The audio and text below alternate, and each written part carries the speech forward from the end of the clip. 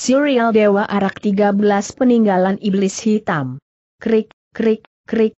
Riuh suara jangkrik dan binatang malam lain mengusik keheningan malam yang hanya diterangi sinar bulan sepotong. Angin dingin yang sesekali berhembus keras semakin menambah heningnya suasana malam. Tapi ternyata suasana seperti itu tidak menghalangi perjalanan sebuah kereta yang ditarik dua ekor kuda. Perlahan-lahan kereta kuda yang jendela-jendelanya tertutup kain hitam bergerak menuju mulut hutan. Cetar, cetar. Seng kusir melecutkan cambuk ke pantat dua ekor kuda di depannya. Seketika langkah binatang penarik kereta yang sudah kelihatan lelah kembali bergerak cepat. Uhaka! Uhaka! Terdengar batu keras beruntun dari dalam kereta yang mempunyai pintu di samping kanan kiri. Masih jauhkah hutan Karimun? Pandora tanya orang di dalam kereta setelah batuknya mereda. Tidak, Tuan, sahut kusir yang dipanggil Pandora. Hutan Karimun sudah di depan kita. Syukurlah sambut orang di dalam kereta yang temiata majikan Pandora. Nada suaranya menyiratkan perasaan lega. Seketika suasana kembali hening setelah orang yang berada di dalam kereta menghentikan ucapannya.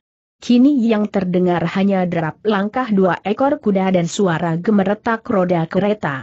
Mudah-mudahan tidak ada orang persilatan yang mencium kepergian kita, ucap orang yang berada di dalam kereta penuh harap.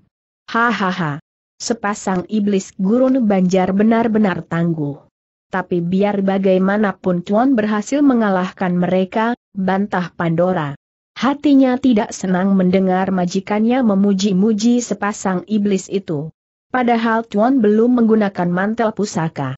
Jangan sebut-sebut benda itu lagi, Pandora, tegur orang di dalam kereta tidak senang.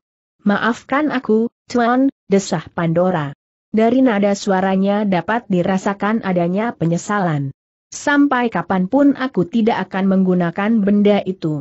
Dan kepergianku membawanya bukan karena aku ingin memilikinya.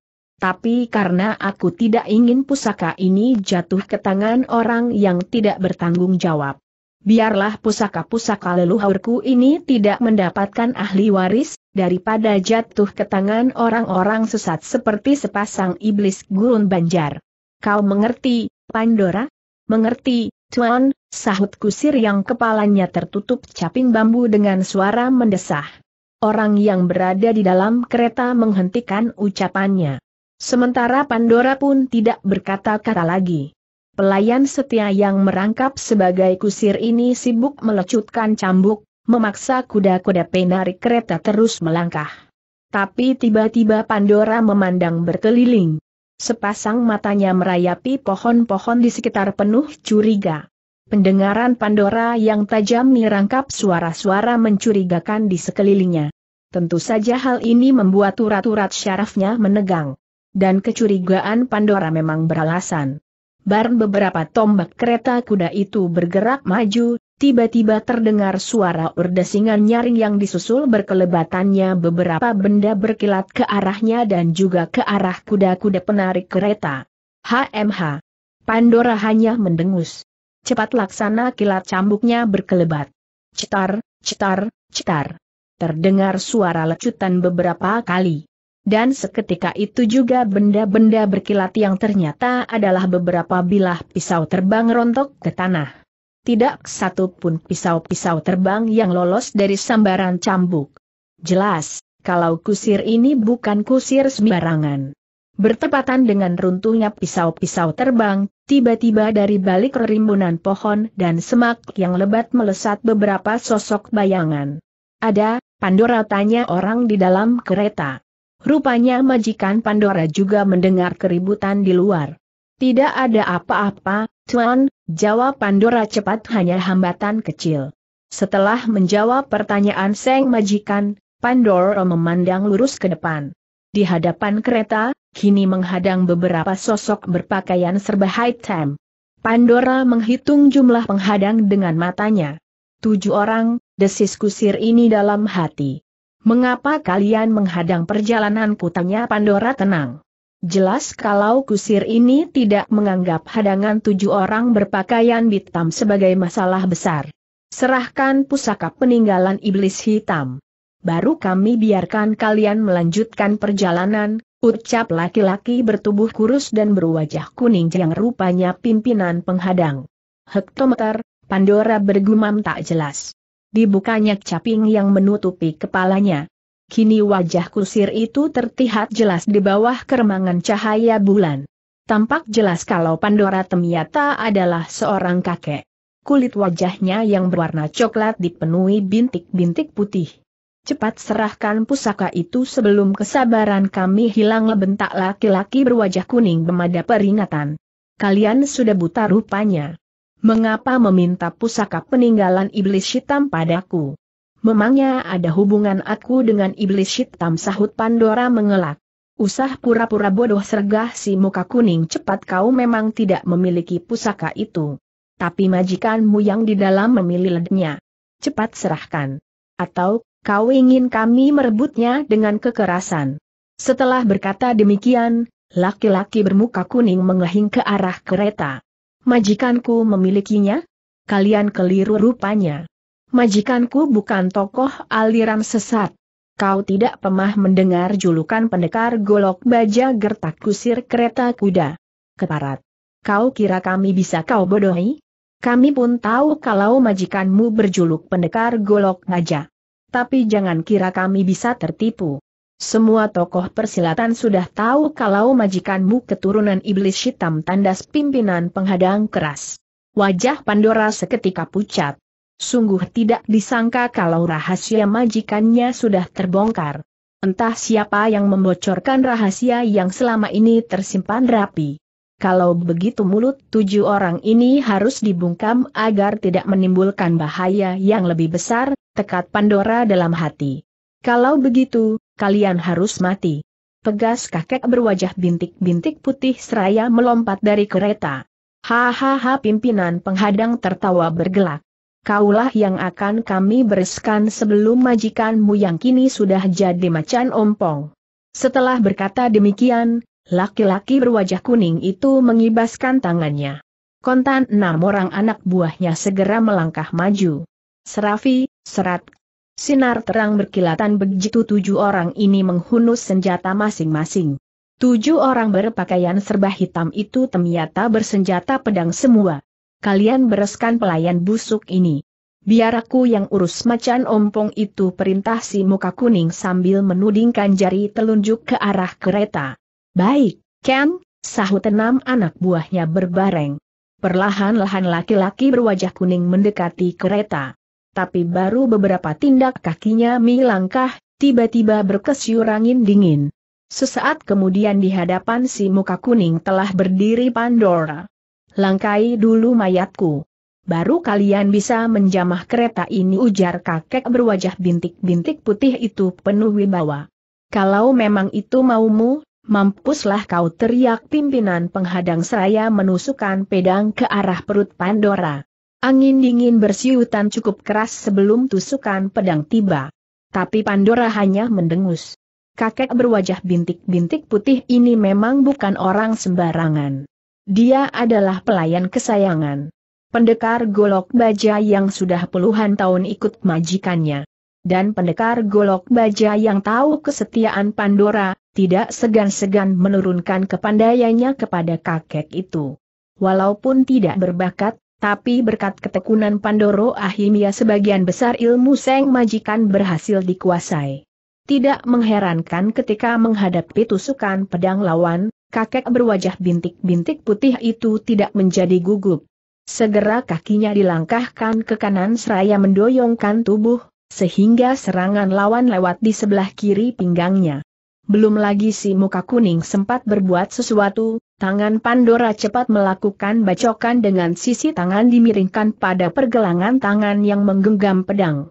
Laki-laki berwajah kuning itu kaget dan berusaha menarik pulang tangannya. Tapi, AKH. Pimpinan penghadang memekik tertahan. Pergelangan tangan yang terkena bacokan pelayan pendekar golok baja terasa seperti patah tulangnya. Dan seketika itu pula pedangnya terlepas dari genggaman. Tidak hanya sampai di situ saja yang dilakukan Pandora. Secepat bacokan tangan kosongnya mengenai sasaran, secepat itu pula posisi tangannya dikepalkan. Dan langsung dihantamkan ke wajah lawan dengan punggung tangan. Des! AKH! Untuk kedua kalinya laki-laki berwajah kuning memekik ketika pukulan Pandora telak dan keras menghantam wajahnya. Dan seketika itu pula terdengar suara berderak keras dari tulang-tulangnya yang retak. Sesaat tubuh pimpinan penghadang itu menggelepar-gelepar. Sekejap kemudian tubuhnya sudah tidak bergerak lagi untuk selamanya dengan hidung dan mulut mengalir darah segar. Rupanya Pandora yang tengah dilanda rasa cemas telah mengerahkan seluruh kepandaian yang dimilikinya. Melihat pemimpinnya tewas, tentu saja enam penghadang lain menjadi terkejut keenam orang berpakaian serba hitam itu sama sekali tak menyangka kalau ketua mereka dapat ditewaskan pelayan pendekar golok baja secara mudah. Memang kejadian itu berlangsung begitu cepat, sehingga mereka tidak sempat berbuat apa-apa. Sesaat lamanya keenam orang itu terpaku menatap mayat ketuanya, seolah-olah tak percaya pada yang dilihatnya. Tapi begitu orang-orang itu sadar dari keterpakuan, kemarahan yang amat sangatlah yang timbul disertai teriakan nyaring, enam laki-laki berpakaian serba hitam menerjang Pandora. Sinar-sinar berkilat dari enam batang pedang yang berkelebatan ke arah pelayan pendekar golok baja untuk beberapa saat membuat suasana malam yang remang-remang menjadi terang. Melihat lawan-lawannya menyerang kalap.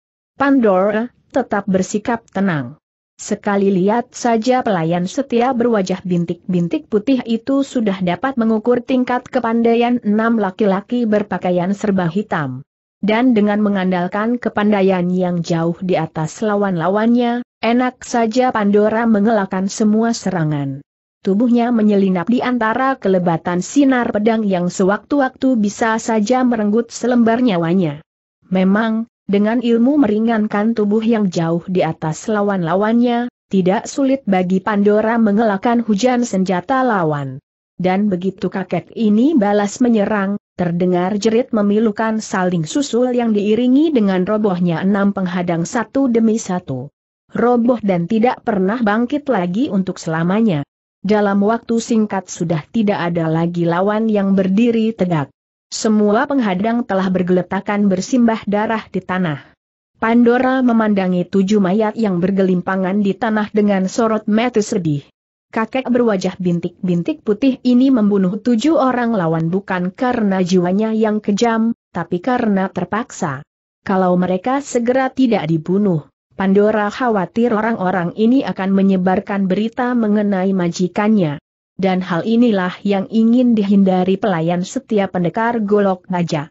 Orang-orang persilatan memang sudah lama mengincar pusaka peninggalan iblis hitam. Sedangkan majikannya yang menyimpan pusaka itu adalah keturunan iblis hitam. Dan seandainya tokoh-tokoh persilatan tahu si majikannya, sudah dapat dipastikan kalau mereka akan memburu pendekar golok naja. Sedangkan pendekar itu kini sedang dalam keadaan terluka parah. Hahaha. Pandora menghela napas panjang untuk menguatkan hatinya yang agak terguncang. Pelayan setia ini sadar kalau bukan hanya untuk sekali ini saja dirinya harus bertindak keras. Seandainya tokoh-tokoh persilatan telah mencium berita tentang pusaka peninggalan iblis hitam ada di tangan pendekar golok baja, mau tidak mau dia harus bertindak kejam untuk menyelamatkan majikannya. Dan juga pusaka warisan iblis hitam tentunya. Pandora kembali menaiki kereta. Tapi baru saja pantatnya diletakkan, terdengar teguran dari dalam kereta. Bagaimana, Pandora maafkan aku, Tuan. Aku terpaksa membunuh mereka, hahaha. Terdengar suara hempasan napas berat dari dalam kereta. Tapi biar bagaimanapun, pendekar golok baja tidak bisa menyalahkan perbuatan pelayan setianya. Tadi, pendekar ini juga telah mendengar pembicaraan antara Pandora dengan rombongan penghadang. Mungkin seandainya dirinya tidak terluka parah, dia pun akan turun tangan membantu Pandora. Pandora kembali menghentakkan tali kekang kuda sambil mendecakkan mulutnya.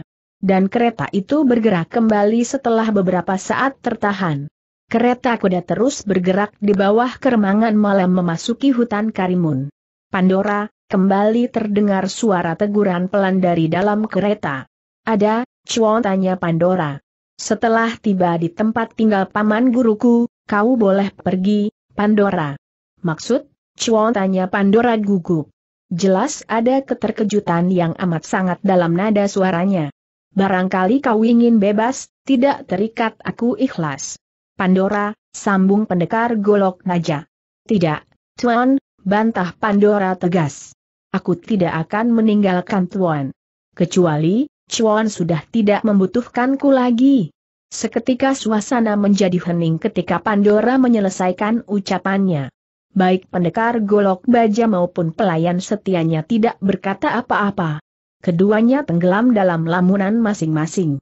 Sesekali Pandora melecutkan cambuk bila melihat langkah kudanya mulai pelan. Sedangkan pendekar golok baja masih tenggelam dalam lamunannya. Orang yang disebut paman guru, sebenarnya adalah gurunya sendiri karena gurunya adalah adik seperguruan ayahnya. Hahaha pendekar golok baja menghela napas berat berhenti dulu, Pandora. Kakek berwajah bintik-bintik putih segera menarik tali kekang, sehingga kuda-kuda penarik kereta menghentikan larinya. Ada, Chuan tanya Pandora. Aku ingin duduk di luar saja, Pandora, sahut pendekar golok baja, seraya membuka pintu kereta. Melihat hal ini, buru-buru pelayan setia itu melompat dari tempat duduknya.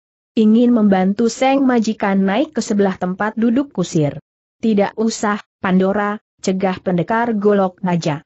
Biar aku naik sendiri. Pandora pun mengurungkan niatnya. Baru setelah pendekar golok baja sudah duduk di sebelah kursi kusir, dia bergegas naik dan duduk di kursinya. Mengapa Chuan pindah kemari tanya pelayan setia itu heran. Aku ingin berbincang-bincang denganmu, Pandore, sahut sang majikan. Pandora hanya mengangguk-anggukan kepala pertanda mengerti. Kemudian menghentakkan tali kekang seraya berdecak pelan. Sesaat kemudian kuda-kuda itu pun sudah kembali melangkah dan roda kereta kembali bergulir, menembus kegelapan hutan karimun. Pandora, ucap pendekar golok baja ketika kereta sudah bergerak cukup jauh. Ya, Tuan, sahut Pandora sambil memalingkan wajahnya, menatap majikannya. Dilihatnya seraut wajah pucat dari seorang laki-laki gagah berusia 50 tahun, raut wajahnya kelihatan keras dihiasi cambang lebat. Dan, Pakaian Seng Majikan yang berwarna putih kian menambah kewibawaan. Aku masih terharu kalau teringat kebaikan paman guru, maksud, Chuan tanya Pandora, masih belum mengerti. Coba pikir. Pandora, kau kan tahu bagaimana hubungan antara kakekku dengan ayah paman guru, bukan? Kakek berwajah bintik-bintik putih itu menganggukkan kepala. Kakek Chuan adalah kakak seperguman ayah paman guru Tuan. Benar, jawab pendekar golok baja sambil menganggukkan kepala. Tapi, kau tahu cerita selanjutnya, Pandora? Hanya sedikit. Tuan, jawab pelayan setia itu sejujurnya. Memang, kakek ini hanya tahu sedikit mengenai leluhur majikannya. Pandora tidak berani lancang, bertanya kalau tidak majikannya sendiri yang membicarakannya. Hampir seratus tahun lalu, ucap pendekar golok baja memulai cerita kakek punya adik seperguruan, yaitu ayah paman guru. Tapi, antara kakek dengan adik seperguruannya ada pertentangan pendirian kakek mengambil jalan sesat dan akhirnya menjadi datuk sesat yang tidak terkalahkan, berjuluk iblis hitam. Sementara adik seperguruan kakek tetap mengambil jalan lurus. Akibatnya hubungan antara kakek dan adik seperguruannya pun putus. Pendekar golok baja menghentikan ceritanya sebentar. Sementara Pandora tetap mendengarkan cerita majikannya penuh perhatian. Kebrutalan kakek dilanjutkan ayah.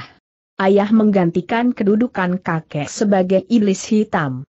Kembali pendekar golok baja menghentikan cerita. Sepasang matanya, dan juga wajahnya mendadak berubah muram. Jelas kalau kelanjutannya amat menyedihkan hatinya.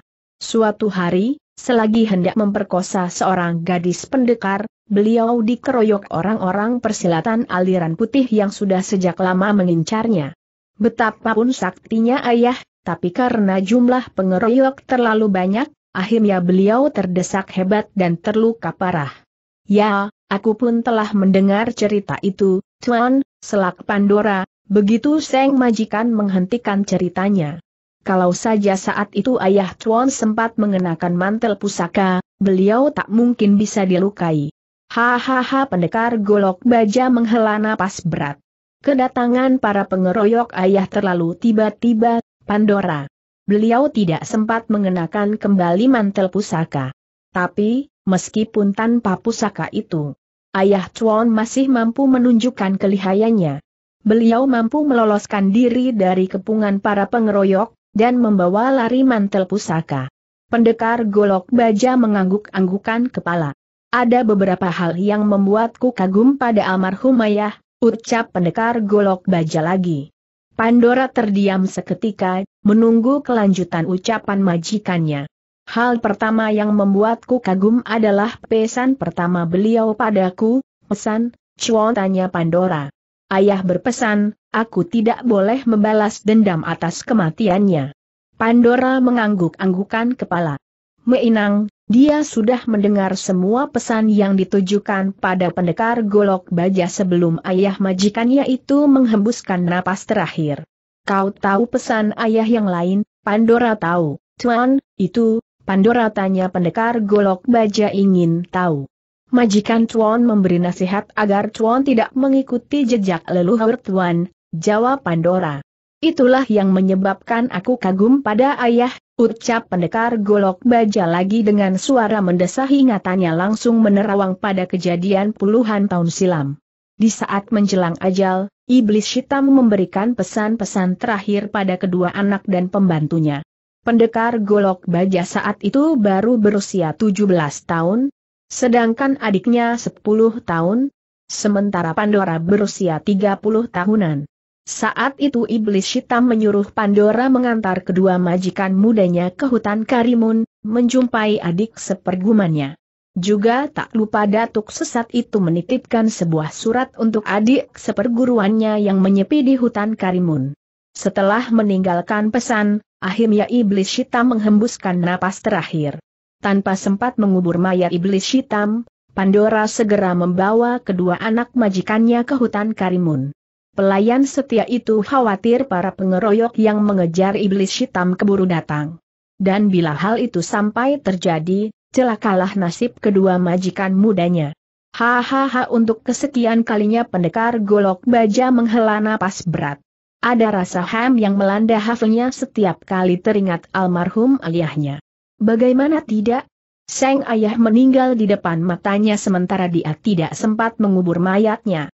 Pandora menolehkan kepala. Sepasang matanya yang sejak tadi menatap ke depan, kini beralih memandang wajah majikannya penuh selidik. Pendekar golok baja pun menatap wajah pelayan setianya lekat-lekat. Ada yang meresahkan hati Chuan tanya kakek berwajah bintik-bintik putih itu setengah hati. Sebenarnya dia ingin membantu meringankan keruwetan pikiran majikannya, tapi khawatir dituduh lancang. Aku teringat pada Adi Kalasunggi, desah pendekar golok baja pelan. Suaranya hampir tidak terdengar. Wajah Pandora seketika berabah, begitu mendengar ucapan junjungannya. Kalasunggi adalah adik kandung pendekar golok naja dia lenyap begitu saja sewaktu berburu bersama kakaknya dan Pandora. Meskipun sudah dibantu paman guru majikan mudanya, Kalasunggi tetap tidak berhasil mereka temukan tanda seru. Pandora menarik tali kekang kuda. Seketika itu juga kuda-kuda berhenti berlari. Dan dengan sendirinya kereta pun berhenti melaju. Hup! Pandora melompat dari kereta. Pendekar golok baja pun melompat turun. Tapi berbeda dengan pelayannya yang mendarat dengan mantap, laki laut gagah bercambang lebat itu mendarat di tanah dengan agak terhuyung-huyung. Bergegas Pandora memegangi tangan majikan mudanya. Tapi dengan halus pendekar golok baja menolak. Uhaka, uhaka. Kembali terdengar batuk-batuk beruntun dari mulut pendekar golok baja. Pandora hanya dapat memandangi majikannya dengan perasaan khawatir. Apalagi ketika melihat percikan cairan merah mengiringi suara batuk-batuk itu. Bawa peti ini, Pandora, ucap pendekar golok baja seraya menyerahkan sebuah buntalan kain berwarna hitam pekat. Pandora yang tahu isi buntalan itu, segera mengulurkan tangan menyambut.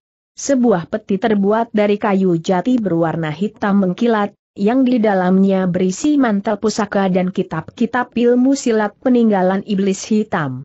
Apakah Tuan perlu kupapah tanya Pandora menawarkan diri? Tidak perlu, sahut pendekar golok baja seraya menggelengkan kepala. Aku masih sanggup berjalan sampai di tempat tinggal paman guru. Pandora tercenung sesaat. Kemudian bergegas melepaskan ikatan kuda dari keretanya. Cetar, cetar. Beberapa kali Pandora melecutkan cambuk di udara dengan mengerahkan seluruh tenaga dalam yang dimilikinya. Hebat akibatnya. Suara lecutan cambuk tak ubahnya suara petir.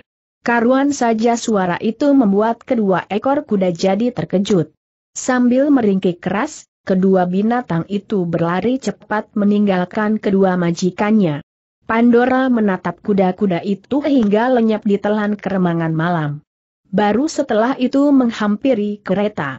Sesaat kemudian tangan dan kakinya berkelebat. Krak, brak. Terdengar suara-suara berderak keras setiap kali tangan dan kaki pelayan renta itu bergerak.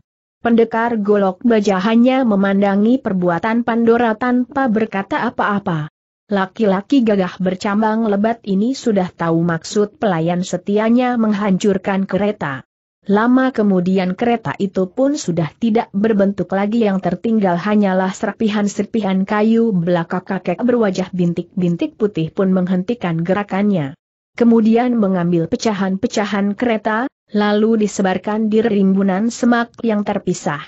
Mudah-mudahan dengan cara begini, jejak pelarian kita tidak dapat ditemukan, Tuan, ucap Pandora setengah berharap. Hektometer. Pendekar golok baja hanya bergumam tidak jelas. Dia tidak begitu yakin kalau usaha yang dilakukan pelayannya akan berhasil. Tapi pendekar ini tidak mau mengecilkan hati kakek itu dengan mengatakan ketidakyakinannya. Pandora menghapus sedikit peluh yang membasahi kening. Rupanya pekerjaan menghancurkan kereta tadi cukup menguras tenaga. Mari kita lanjutkan perjalanan, Pandora, ajak pendekar golok baja seraya berjalan mendahului pelayannya. Tanpa berkata-kata apa-apa lagi, Pandora mengikuti majikannya. Memang, perjalanan di tempat ini tidak bisa dilalui dengan berkuda. Apalagi dengan kereta kuda. Itulah sebabnya mengapa Pandora terpaksa menghancurkan kereta dan mengusir kuda-kuda itu. Dengan langkah terhuyung-huyung dan sesekali diselingi batuk-batuk keras, pendekar golok baja menerobos rimbunan semak. Bahkan tak jarang tangan pendekar ini harus bekerja keras menguak rimbunan semak-semak yang terlalu rapat. Setelah melalui jalan berkelok-kelok, akhirnya kedua orang itu tiba di sebuah lembah. Meskipun suasana malam remang-remang, tak jauh dari situ terlihat cukup jelas sebuah pondok berdinding bilik. Pendekar golok baja segera mempercepat langkahnya begitu melihat pondok berdinding bilik itu. Dan Pandora pun terpaksa mempercepat langkahnya. Kakek berwajah bintik-bintik putih ini sebenarnya khawatir pada luka-luka parah yang diderita sang majikan. Semestinya saat ini tidak boleh terlalu banyak mengeluarkan tenaga. Tapi, dayanya? Pendekar golok baja tidak mau dibantah.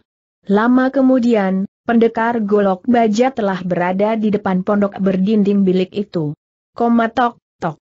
Terdengar suara ketukan, begitu kepalan tangan laki-laki gagah itu menyentuh pintu. Pelahan saja pintu itu diketuk. Tapi karena suasana malam sangat hening, ketukan tadi terdengar agak keras. Kriit.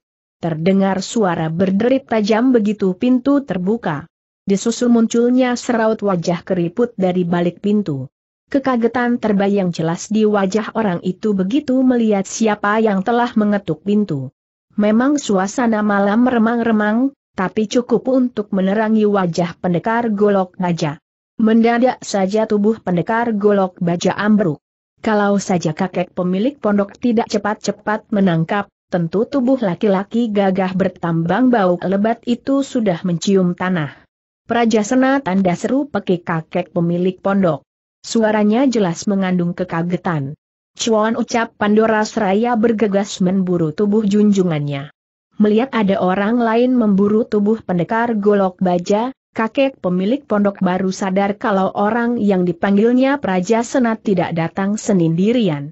Perhatiannya segera dialihkan pada kakek berwajah bintik-bintik putih itu. Sesaat lamanya sepasang mata pemilik pondok menatap penuh selidik.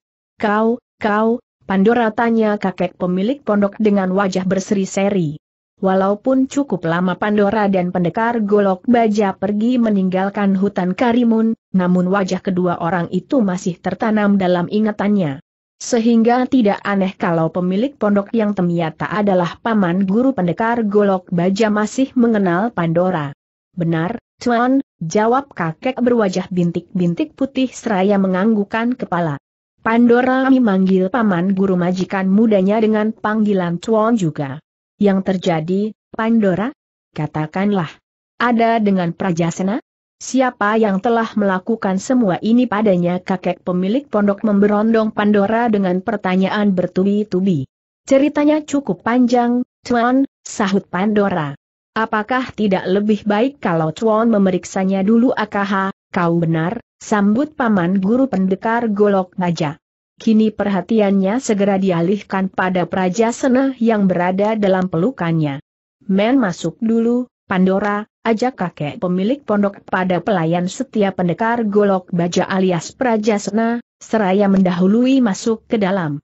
Tanpa berkata apa-apa, Pandora segera melangkah masuk. Dan begitu telah berada di dalam, dia segera menutup pintu pondok. Paman guru pendekar golok baja membawa Prajasena ke dalam kamar khusus semadi yang cukup luas. Kemudian tubuh yang tergolek pingsan itu direbahkan perlahan-lahan di atas balai-balai bambu. Sepasang alis yang sudah berwarna dua itu tampak berkerut ketika memeriksa sekujur tubuh Prajasena. Racun, desah kakek pemilik pondok seraya menatap tajam wajah Pandora yang berdiri di sampingnya sepasang mata paman Gum Prajasena penuh pertanyaan. Hahaha. Pandora hanya menghela napas berat. Pandang mata penuh pertanyaan dari pemilik pondok sama sekali tidak dihiraukannya. Kakek berwajah bintik-bintik putih ini terlalu mengkhawatirkan keadaan majikan mudanya. Yang ada dalam benaknya hanyalah, bagaimana secepatnya memberi pertolongan kepada Praja Sena. Masalah-masalah lain bisa diurus belakangan. Kakek pemilik pondok rupanya dapat merasakan yang dirasakan Pandora. Dihampirinya pelayan setia itu sambil tersenyum lebar, kemudian menepuk-nepuk bahunya. Tenanglah, Pandora. Pertanyaanku tadi bukan karena aku tidak ingin buru-buru menolong Prajasena. Tapi agar aku tahu jenis racun yang mengeram di dalam tubuhnya. Kau bisa mengerti, bukan? Pandora menganggukkan kepala pertanda mengerti. Diam-diam dia memaki kebodohan dirinya sendiri. Kakek di depannya ini adalah paman guru dan sekaligus gum majikan mudanya dan belum tentu kasih sayang kakek itu pada Praja Sena kalah besar jika dibandingkan dengan kasih sayangnya. Lagi pula, mana mungkin seorang gum tidak khawatir bila muridnya sedang sekarat maki Pandora dalam hati. Katakanlah, dengan siapa Praja Sena bertarung tanya kakek pemilik pondok lagi. Chuan bertarung dengan sepasang iblis gum banjar, sahut pelayan setia pendekar golok baja pelan. Sepasang iblis gurun banjar, ulang paman Gumpraja Sena dengan alis berkemt. Jadi, dugaanku tepat rupanya. Chuan sudah tahu tanya Pandora setengah tak percaya. Kakek pemilik pondok hanya menganggukkan kepala. Aku sudah menduganya begitu memeriksa lukanya. Pertanyaanku hanya untuk memastikan saja. Dan, ternyata dugaanku memang benar. Hahaha. Sungguh tidak kusangka kalau sepasang iblis gurun banjar bentrok dengan Prajasena. Dalam salah satu pengembaraannya, Chuan telah membunuh murid sepasang iblis gurun banjar, ucap Pandora menjelaskan. Pantas, sambut kakek pemilik pondok setengah mendesah. Rupanya mereka ingin membalas dendam. Benar, Tuan. Pandora, kumohon kau jangan memanggilku dengan panggilan Tuan lagi. Gatal telingaku rasanya. Panggil aku dengan namaku saja, Wirageni. Baiklah, tu, eh, Ayang, Pandora sengaja menyebut Eyang karena penduduk dusun di sekitar hutan Karimun memanggil paman guru Praja Sena ini dengan sebutan Eyang Wirageni. Sekarang kau tenanglah, Pandora. Atau, lebih baik kau berjaga-jaga. Barangkali ada tamu-tamu tak diundang yang datang kemari. Malam ini aku punya firasat tidak enak, Pandora. Ucapan Eyang Wirageni membuat Pandora gelisah. Laki-laki berwajah bintik-bintik putih ini kenal betul siapa Eyang Wirageni. Beliau adalah seorang tokoh sakti yang memiliki perasaan amat tajam. Apakah pengobatan majikanku butuh waktu cukup lama? Eyang tanya Pandora ingin tahu. Lama sih, tidak. Tapi, pengobatan ini butuh tenaga dalam yang amat kuat. Dan sudah pasti akan menguras seluruh tenagaku. Perlu kau ketahui, Pandora. Prajasena terkena racun yang berempat uap. Jadi, aku harus mengobatinya dengan cara mendorong uap beracun itu dengan tenaga dalamku. Kau tahu, Pandore, dalam keadaan begitu, mudah saja bagi seseorang membunuhku. Dan kalau pengobatan sudah kumulai, di tanganmu lah terletak keselamatanku dan majikanmu. Mengerti, Pandora? Mengerti, Eyang, sahut Pandora sambil menganggukkan kepala. Diam-diam jantung kakek berwajah bintik-bintik putih ini berdebar tegang, mengingat tugas berat yang harus diimban dua nyawa orang-orang yang sangat dihormati, kini bergantung kepadanya.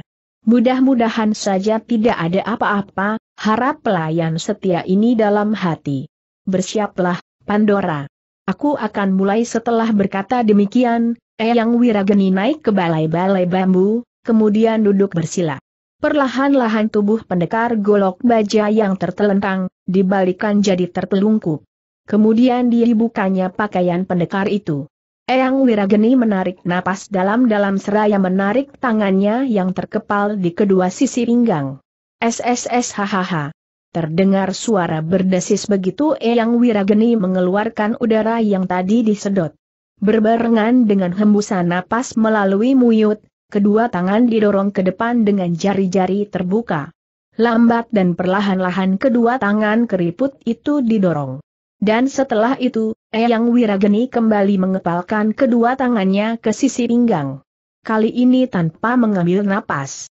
Kemudian kedua telapak tangannya ditempelkan pada punggung pendekar golok naja kakek pemilik pondok ini mulai menyalurkan tenaga dalam untuk mengusir uap racun yang mengendap di tubuh murid keponakannya.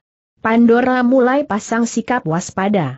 Buntalan kain hitam yang sejak tadi dijinjing, ditaruh di bawah balai-balai bambu. Sepasang matanya diedarkan berkeliling, ke setiap sudut ruangan.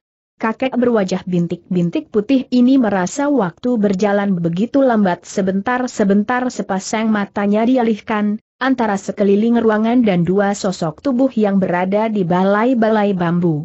Dan kini dilihatnya bintik-bintik keringat mulai membasahi wajah Eyang Wirageni. Mula-mula hanya sedikit, tapi semakin lama semakin banyak. Sampai akhirnya sekujur tubuh kakek itu mandi keringat. Sepasang mata Pandora membelalak begitu melihat uap tipis berwarna kehijauan, keluar dari kedua lubang hidung majikan mudanya.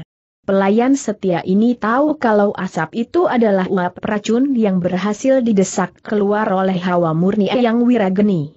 Semakin lama uap itu semakin bertambah tebal.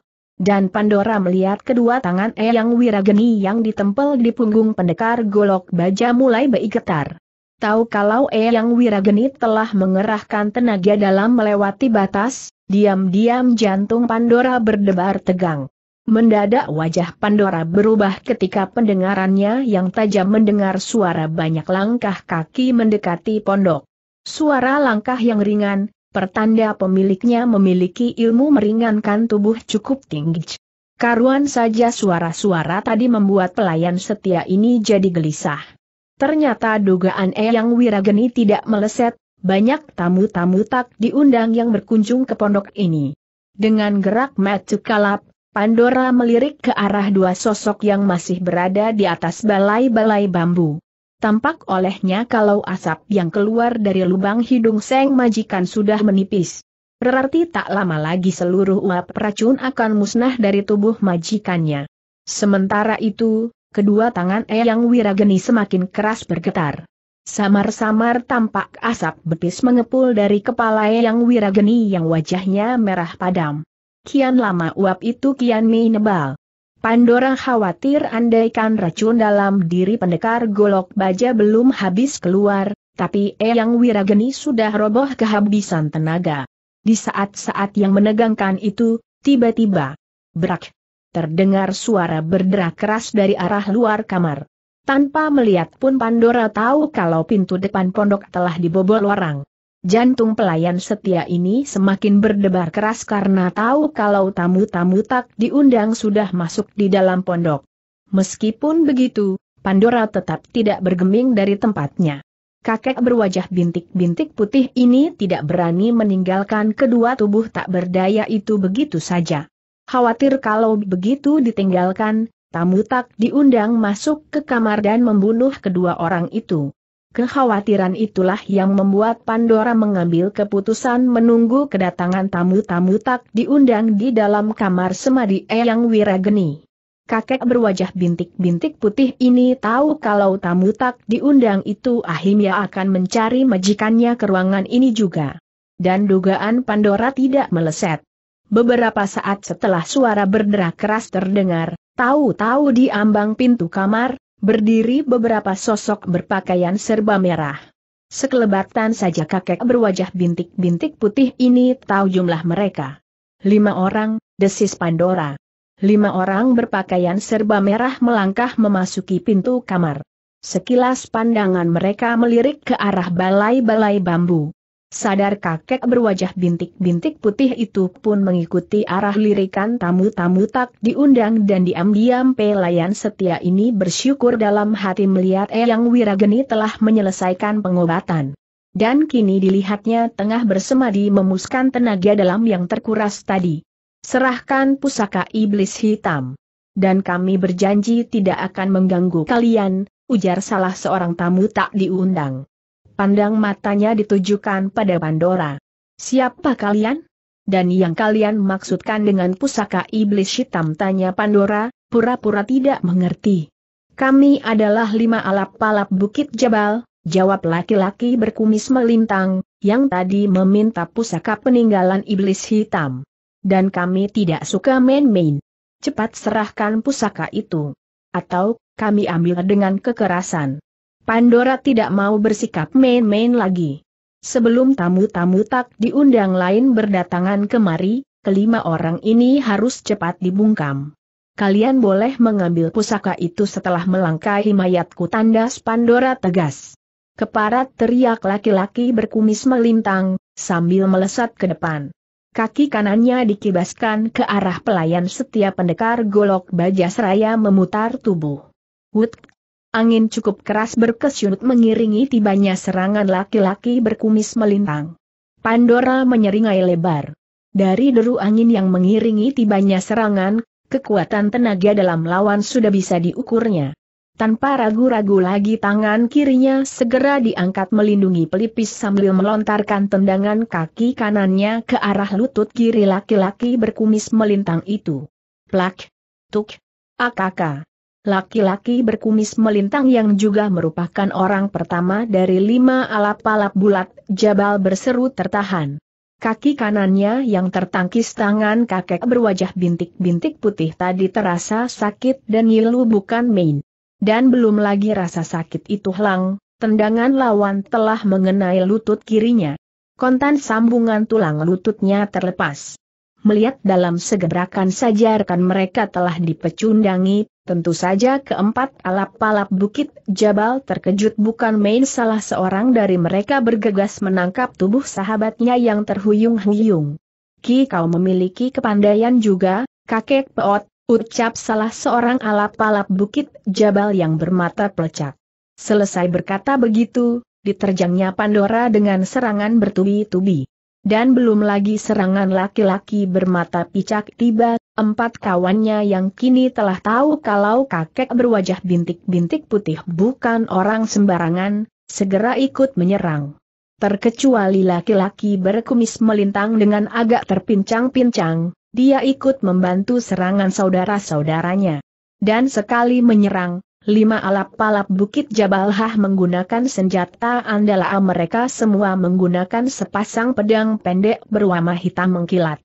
Suara berkesyutan nyaring dari udara yang terbesar kelebatan pedang-pedang pendek lima alap-alap bukit Jabal memecah keheningan malam. Pandora yang memang sudah memutuskan untuk tidak bertindak setengah-setengah, segera mencabut sebatang golok pendek berwarna putih mengkilat. Serat. Seketika memancar sinar terang menyilaukan mata ketika golok pendek keluar dari sarungnya. Dan secepat golok itu tercabut, Secepat itu pula Pandora I menangkis hujan serangan tamu tak diundang. Terang, terang, terang. Terdengar suara berdentangan nyaring yang diiringi pijaran bunga-bunga api di udara, tatkala golok pelayan setia itu berbenturan dengan senjata-senjata para pengeroyok. Suara-suara pekikan kaget segera terdengar dari mulut lima alap-alap bukit Jabal. Bahkan bukan itu saja, tubuh-tubuh mereka pun terhuyung-huyung ke belakang. Jelas kalau tenaga dalam yang dimiliki kelma pemburu pusaka peninggalan iblis hitam itu masih jauh di bawah tenaga dalam Pandora. Dan selagi tubuh-tubuh mereka terhuyung-huyung, pelayan setiap pendekar golok baja itu kembali menyabetkan golok berwarna putih mengkilat. Dan, serat, serat, ah ah ah, ah ah ah. Terdengar jeritan-jeritan panjang menyayat begitu golok Pandora membabat leher lima alap-alap bukit Jabal satu persatu. Darah segar kontan bermunkratan dari leher mereka yang terkoyak lebar. Seketika itu juga tubuh kelima orang itu roboh ke tanah. Setelah menggelepar-gelepar sesaat, akhirnya diam tidak bergerak lagi. Tragis sekali nasib lima alap-alap bukit Jabal, mereka tewas di tangan orang yang sama sekali tidak terkenal. Hahaha. Terdengar helaan napas berat dari mulut Pandora. Wajah pelayan setiap Raja Sena ini tidak tampak gembira meskipun melihat kelima lawan telah tewas. Bahkan terlihat penyesalan mendalam di wajah tua yang berbintik-bintik putih itu. Memang sebenarnya Pandora ini menyesal sekali telah membunuh lima alap-alap Bukit Jabal. Kalau saja bukan karena terpaksa, belum tentu kakek ini tega membunuh kelima orang itu. Tapi setidak-tidaknya kematian lima alap-alap bukit Jabal itu telah mengurangi momok yang selama ini menakut-nakuti penduduk sekitar bukit itu. Setelah memandangi lima sosok mayat yang tergolek bermandi darah sejenak, Pandora segera menyarungkan kembali goloknya lupa menyeka dulu darah yang menodai batang golok dengan pakaian salah seorang mayat lima alap-alap bukit Jabal. Trek. Kini golok putih berkilat telah masuk kembali ke dalam sarungnya. Baru setelah itu, Pandora mengalihkan perhatian ke arah dua sosok tubuh yang tergolek di atas balai-balai bambu. Ditatapnya Eyang Wirageni yang masih husuk bersemadi penuh perhatian. Terdengar desahan lembut berirama tetap setiap kali pamen guru majikannya itu menarik dan mengeluarkan napas. Sesaat kemudian, Pandora mengalihkan pandangan ke arah tubuh junjungan mudanya yang masih tergolek di balai-balai bambu. Desah napas lembut tapi teratur menandakan kalau pendekar golok baja tengah tertidur lelap. Uh! Mendadak terdengar keluhan pelan mengiringi tubuh Praja Sena yang menggeliat. Melihat hal ini, Seketika wajah Pandora berseri-seri. Bergegas dia mendekati balai-balai bambu. Tuan, panggil kakek berwajah bintik-bintik putih itu. Nada suaranya menyiratkan rasa gembira yang menggelora. Pandora, desah pendekar golok baja pelan. Setelah mengerjap-ngerjap beberapa saat, baru kemudian sepasang kelopak matanya membuka. Dan yang pertama kali dilihat adalah wajah pelayan setianya. Tapi, masih terlihat samar-samar. Memang tadi Praja Sena memanggil nama Pandora sebelum membuka matanya. Dia memanggil pelayannya karena mendengar panggilan Pandora. Ya, Tuan, sahut Pandora gembira. Pandora tahu kalau majikan mudanya telah bebas dari cengkeraman racun jahat sepasang iblis gurun banjar. Wajah itu telah agak memerah kembali, sungguh pun masih agak pucat dan sepasang bola mata yang tidak kehijauan seperti sebelumnya, telah menjadi bukti nyata kalau pendekar golok baja telah ibas dari racun. Memang, semula wajah dan sepasang bola mata Praja Senap berubah kehijauan. Di manakah aku, Pandora? Tanya Praja Senaf sambil mengedarkan pandangan berkeliling. Tuan, lupa Pandora sengaja tidak segera inen jawab pertanyaan pendekar golok ngajak. Dibiarkannya Praja Sena mengamati seluruh penjuru tempat itu. Rasanya aku mengenal tempat ini, gumam Praja Sena pelan sambil mengernyitkan dahi. Jelas kalau pendekar golok baja tengah menguras ingatannya. Ingat-ingatlah, Tuan, sambut Pandora terutama sejak Tuan berhasil mengusir sepasang iblis gurun banjar. Ah, aku ingat sekarang sentak pendekar golok baja setelah termenung sejenak. Apalagi setelah terpandang olehnya tubuh Eyang Wirageni yang tengah bersemadi. Yang telah terjadi, Pandora? Dan mengapa Eyang bersemadi? Pandora tertegun sejenak. Dan sebelum sempat menjawab pertanyaan junjungannya, Kembali terdengar suara bernada terkejut dari mulut Praja Sena. Siapa mereka? Pandora tanya pendekar golok baja sambil menudingkan jari telunjuk pada lima sosok mayat yang tergolek di lantai. Dan, siapa yang membunuh mereka hahaha. Kembali terdengar helaan napas berat dari mulut Pandora. Akhirnya kakek ini pun menceritakan semua yang telah terjadi.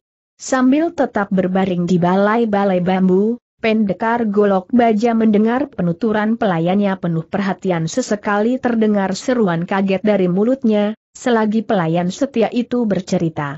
Jadi, Eyang bersemadi untuk memulihkan tenaganya yang terkuras ketika mengusir racun yang mengeram di tubuhku, gumam Praja Sena setengah berdesah. Dan, sungguh sama sekali tidak kusangka kalau lima alap-alap Bukit Jabal bisa sampai kemari ah.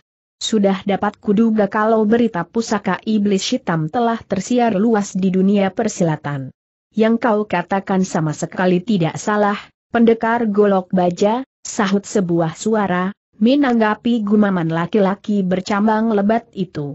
Tentu saja sambutan yang sama sekali hendak disangka-sangka itu membuat Praja Senat terkejut. Bahkan bukan hanya pendekar golok baja saja, Pandora pun dilanda perasaan yang sama. Sebelumnya mereka sama sekali tidak mendengar langkah orang mendekati tempat ini. Hampir berbareng pendekar golok baja dan Pandora menoleh ke arah asal suara. Di ambang pintu pondok Eyang Wirageni telah luir diri sesosok tubuh kurus kering. Usia laki-laki yang hampir-hampir tak berdaging ini sukar ditebak. Tapi, yang jelas sudah lebih dari 60 tahun, Warna kulit yang kemerahan berlawanan sekali dengan pakaian serba putih yang dikenakannya.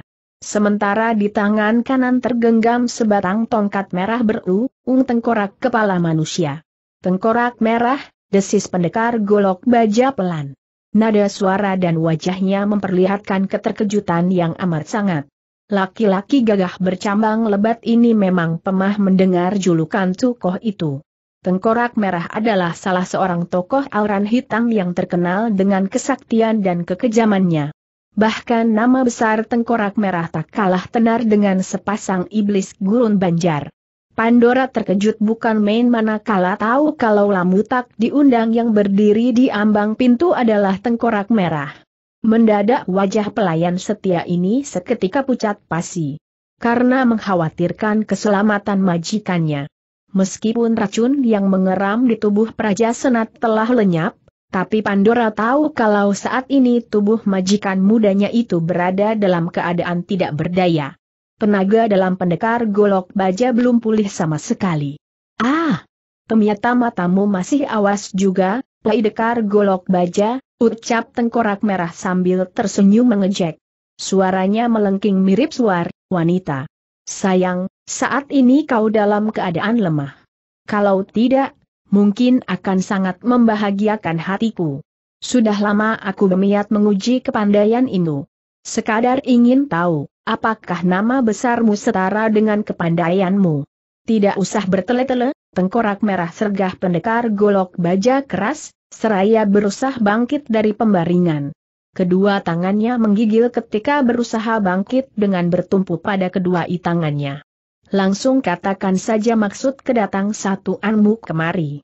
Sepasang mata laki-laki bertubuh kurus kering itu nampak berkilat-kilat penuh kemarahan ketika mendengar jawaban yang bernada kasar. Sungguh tidak kusangka kalau dalam keadaan seperti ini pun kau masih bersikap galak, pendek golok ngajak.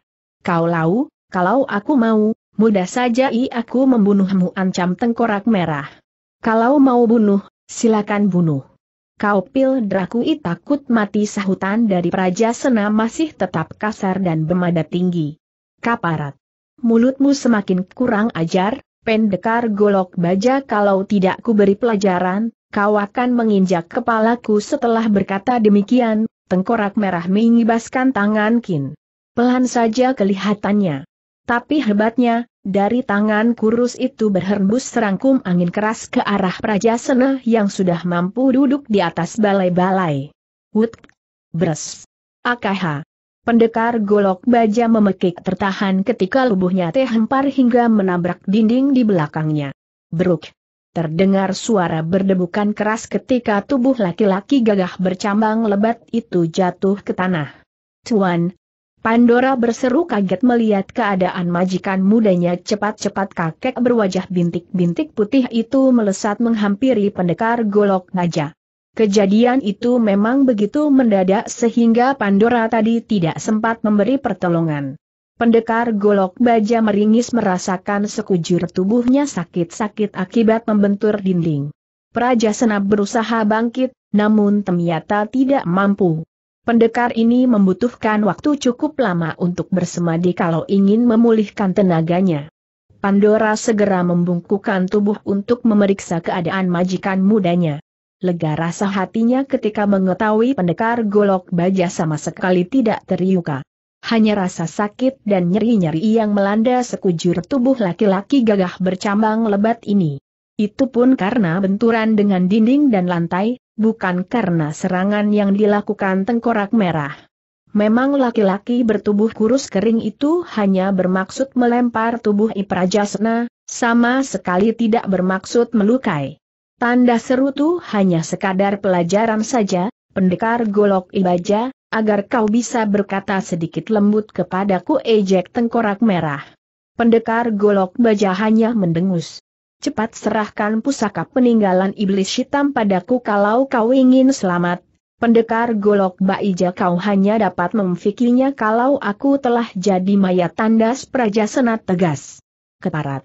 Kalau memang itu keinginanmu, mampuslah. Setelah berkata demikian, tengkorak merah mi lompat menerjang. Tongkat merah berujung tengkorak diayunkan ke arah kepala pendekar golok naja. Wuut. Angin keras bei hembus deras sebelum sambaran tongkat tiba. Pandora tentu saja tidak membiarkan kepala majikan mudanya pecah terhantam tongkai laki-laki bertubuh kurus kering secepat kilat kakek berwajah bintik-bintik putih itu bangkit seraya menghunus golok pendeknya. Serat. Begitu golok berwarna putih mengkilat keluar dari nerungnya, langsung saja Pandora memapak sampirari ingkat tengkorak merah. Terang Terdengar suara berdentang nyaring begitu kedua irjata berbenturan. Seketika bunga-bunga api berpijaran di udara. AKH. Pandora memekik tertahan. Tubuhnya kontan berhuyung-huyung beberapa langkah ke belakang. Sekujur tangannya terasa kesemutan, bahkan golok yang dilenggam hampir-hampir terlepas dari pegangan. Sementara tengkorak merah sama sekali tidak lei pengaruh. Jelas kalau tenaga dalam laki-laki bertubuh kurus kering itu jauh di atas tenaga dalam yang dimiliki Pandora. Pelayan keparat maki tengkorak merah keras. Tokoh aliran hitam ini merasa geram bukan main melihat serangannya ditangkis Pandora. Dan kini kemarahannya dilampiaskan pada kakek berwajah bintik-bintik putih itu. Wuut. Kembali tengkorak merah melancarkan serangan. TNPL kali ini kepada Pandora. Tongkat berkepala tengkoraknya ditusukkan cepat ke arah dada Pandora yang masih terhuyung-huyung. Pandora kaget bukan main. Untuk mengelak ratanya sudah tidak mungkin lagi dapat dilakukan. Jangankan mengelak, mematahkan daya dorong yang membuat tubuhnya terhuyung-huyung pun dia tak mampu tidak ada jalan lain baginya kecuali menangkis tusukan tongkat berujung tengkorak kepala manusia dan itulah yang dilakukan Pandora untuk menyelamatkan selembar nyawanya. Buru-buru goloknya digerakkan menangkis. Terang. AKH.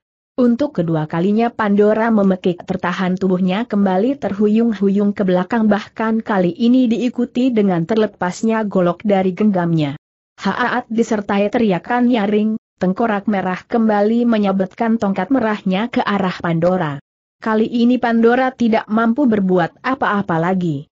Kakek berwajah bintik-bintik putih ini hanya dapat pasrah menanti ajal datang menjemput. Tubuh yang masih terhuyung-huyung, menyulitkan dirinya mengelakkan sabetan tongkat. Tapi di saat kritis bagi keselamatan Pandora terdengar suara berdesing nyaring yang disusul dengan melesatnya seleret sinar putih berkilat ke arah tongkat yang mengancam kepala pelayan setia itu. Terang. Seketika itu juga benda putih berkilat terpental balik ketika berbenturan dengan tongkat berujung tengkorak kepala manusia milik tengkorak merah dan langsung menancap di dinding sampai tembus ke gagangnya. Rupanya benda putih berkilat itu adalah sebilah pisau terbang. Tengkorak merah menggeram keras, manakala mendapati serangannya kembali digagalkan orang. Dan belum lagi dia sempat berbuat sesuatu, tahu-tahu melesat sesosok bayangan putih. Sesaat kemudian di depan laki-laki bertubuh krotes kering itu telah berdiri Yang Wirageni dengan tenangnya. Rupanya begitu melihat keselamatan Pandora terancam, kakek ini seturun tangan tanpa mempedulikan tenaganya yang belum pulih seluruhnya. Karena waktu yang sudah mendesak, dilemparkannya sebilah pisau terbang sebagai penghambat serangan tengkorak merah. Pandora, cepat kau bawa Praja Sena dari sini sambil berkata begitu, Eyang Wirageni segera menerjang tengkorak merah. Tongkat baja yang sejak tadi lergenggam di tangannya segera menotok cepat ke arah ulu hati lawan. Pandora adalah seorang yang telah kenyang pengalaman. Sekali lihat saja kakek berwajah lentik bintik putih ini lau kalau Eyang Wirageni aja mengorbankan nyawanya untuk keselamatan Ilya, pendekar golok baja, dan terutama sekali pusaka iblis hitam. Pandora tahu kalau Eyang Wirageni belum berhasil memulihkan seluruh tenaganya. Tanpa membuang-buang waktu lagi, Pandora segera menghampiri pendekar golok baja dan memanggulnya. Lupa menyambar buntalan kain hitam yang berisi pusaka peninggalan iblis hitam. Dan sebelum melesat kabur dari situ, dia menyempatkan melirik pertarungan yang terjadi antara Tengkok Merah dengan Eyang Wirageni. Sementara itu, Eyang Wirageni terus menghujani Tengkorak Merah dengan serangan-serangan dahsyat untuk memberi kesempatan Pandora kabur. Tengkorak merah meraung murka melihat Pindora berhasil kabur dengan membawa pusaka yang diincamnya. Kini kemarahannya dilampiaskan pada Eyang Wirageni. Eyang Wirageni menggertakkan giginya, mengerahkan seluruh kemampuan yang dimilikinya. Tapi, ternyata hasilnya tetap sia-sia. Tenaga dalamnya belum kembali seluruhnya. Dan dengan berkurang tenaga dalam, berkurang pula kemampuannya. Sesekali kedua senjata mereka beradu, Eyang Wiragei selalu terhuyung ke belakang dengan tangan yang menggenggam tongkat tergetar hebat. Sementara lawannya sama sekali tidak menderita suatu. Di jurus-jurus awal, pertarungan antara kedua orang tokoh sakti ini masih berlangsung imbang. Tapi menginjak jurus ke-15, tampak keunggulan tengkorak merah. Sebenarnya kalau saja Eyang Wirageni berat dalam kondisi biasa, belum tentu tengkorak mampu mendesak. Tapi, karena kakek yang menjadi guru pendekar golok baja ini belum berhasil memulihkan seluruh tenaga dalamnya, laki-laki bertubuh kurus kering itu bisa mendesaknya. Terang. Kembali untuk kesekian kalinya senjata kedua tokoh sakti berbenturan. Kali ini benturan yang terjadi demikian keras, sehingga tak pelak lagi Eyang Wirageni terjengkang ke belakang. Dan sebelum paman guru Praja Sena ini berbuat sesuatu, tahu-tahu tongkat berujung kepala tengkorak lawan telah meluruk cepat ke dada. Wuut! Buk! Huak! Terdengar suara berderak keras ketika tongkat berujung kepala menghantam telak dan keras dada Eyang Wirageni. Seketika itu juga tubuh paman guru pendekar golok baja terlempar jauh ke belakang. Darah segar berhamburan deras dari mulut, hidung, dan telinga Eyang Wirageni. Nyawa Eyang Wirageni meninggalkan raganya dengan sekujur tulang dada remuk. Melihat lawannya tewas, tanpa membuang-buang waktu lagi tengkorak merah melesat meninggalkan pondok. mengejar Pandora yang telah membawa lari pusaka dan juga majikan mudanya. Sementara itu Pandora terus berlari cepat meninggalkan pondok Eyang Wirageni walaupun agak repot karena tangan kanannya harus memegangi tubuh pendekar golok baja yang terpanggul di bahu, sedangkan tangan kiri sibuk menjunjung buntalan kain hitam, kakek berwajah bintik-bintik putih terus berlari. Tapi belum berapa jauh melangkah, mendadak Pandora berhenti berlari.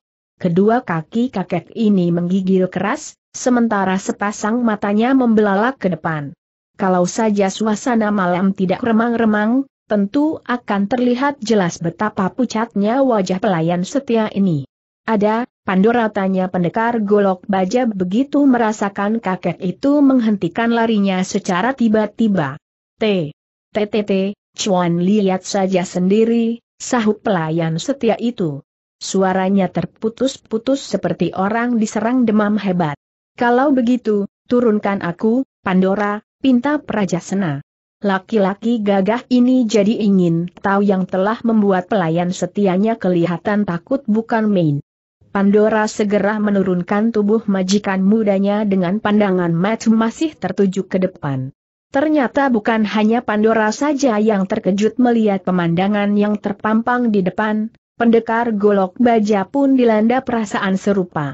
M. MMM, mustahil, meskipun dengai agak gagap akhirnya keluar juga ucapan bernada terkejut itu. Mungkin sebenarnya akan keras suara yang keluar dari mulut pendekar golok baja. Tapi karena keterkejutan yang amat sangat, Suaranya malah tersumbat di tenggorokan. Tidak salahkah yang kita lihat ini, Chuan tanya Pandora yang telah berhasil mengatasi rasa terkejut. Tidak, Pandora, sahut pendekar golok baja nambil menggelengkan kepala. Dia memang iblis hitam. Di bawah keremangan malam, di hadapan kedua orang itu, terlihat sesosok tubuh berpakaian serba hitam tengah mengamuk menghadapi belasan pengeroyok. Sosok itu memang pantas bila dijuluki iblis hitam, karena sekujur tubuhnya terbalut kain serba hitam. Mulai dari kepalanya yang tertutup selubung berwarna hitam, dan yang terlihat hanya sepasang matanya saja, sampai ke kaki dan sepatunya berwarna hitam. Kedua tangannya terbungkus sepasang sarung tangan yang juga berwarna hitam. Pakaian sosok serba hitam yang berjuluk iblis hitam adalah sebuah mantel hitam yang berkibaran keras setiap kali tubuhnya bergerak. Lalu, bagaimana dengan isi buntalan ini? Tuan tanya Pandora lagi, seraya mengangkat buntalan kain hitam yang sejak tadi dijinjingnya. Pendekar golok baja terperanjat kaget, Laki-laki gagah ini baru teringat pada buntalan kain hitam yang selama ini diketahuinya berisi seluruh perlengkapan iblis hitam. Apakah iblis hitam ada dua tanyanya dalam hati dengan perasaan bingung? Atau, memang tikayu jati yang terdapat dalam buntalan kain hitam ini sebenarnya tidak berisi apa-apa?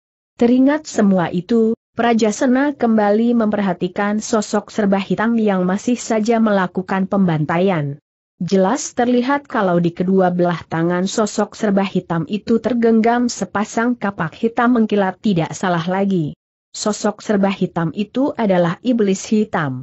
Buka buntalan itu, Pandora, ucap pendekar golok baja setelah tercenung sesaat.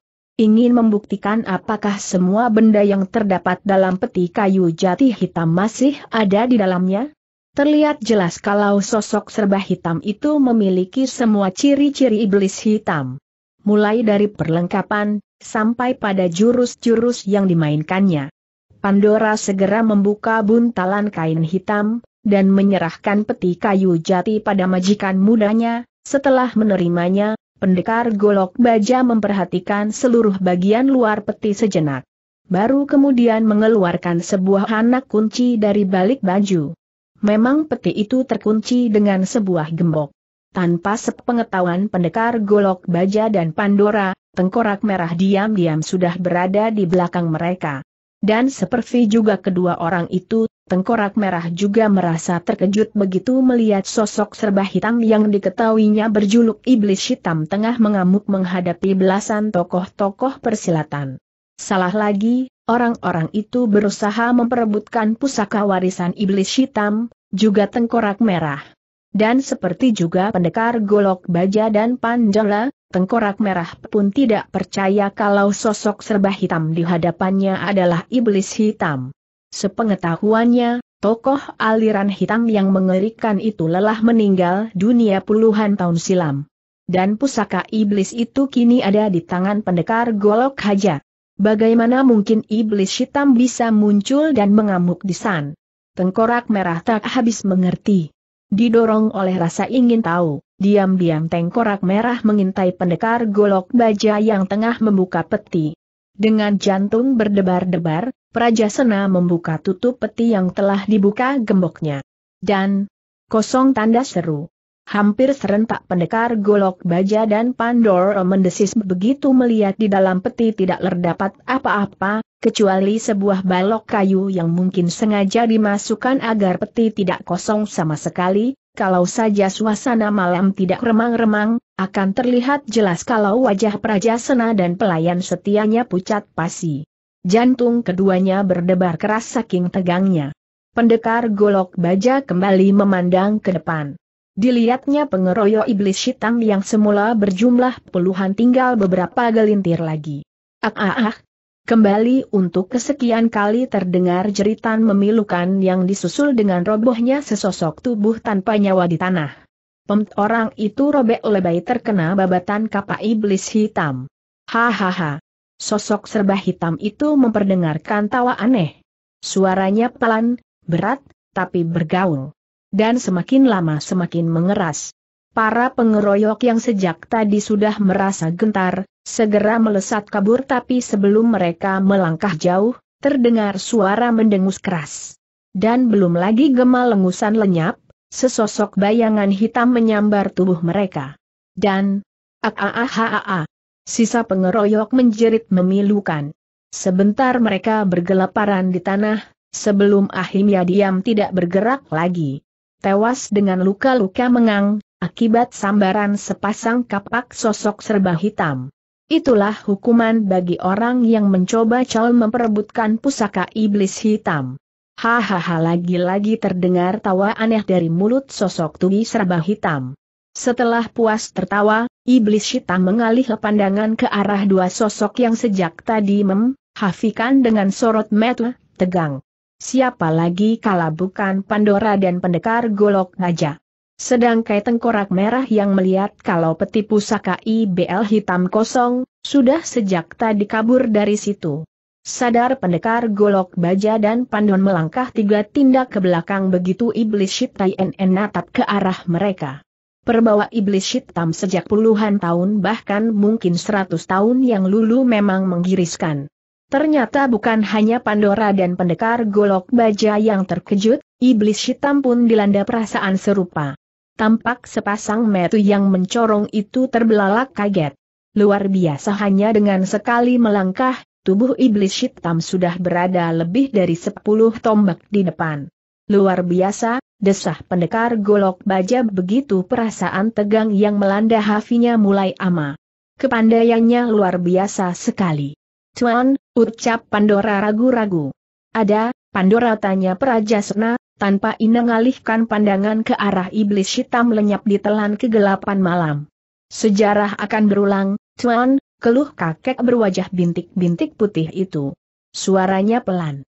Maksudmu, Pandora tanya pendekar golok baja belum mengerti karena perhatiannya masih tertuju pada iblis hitam. Sejarah iblis hitam yang berlumuran darah, Jawab Pandora dengan suara mengembang. Hahaha. Pendekar golok baja menghela napas berat. Nampak jelas kalau laki-laki gagah ini merasa tertekan melihat kenyataan yang dihadapinya.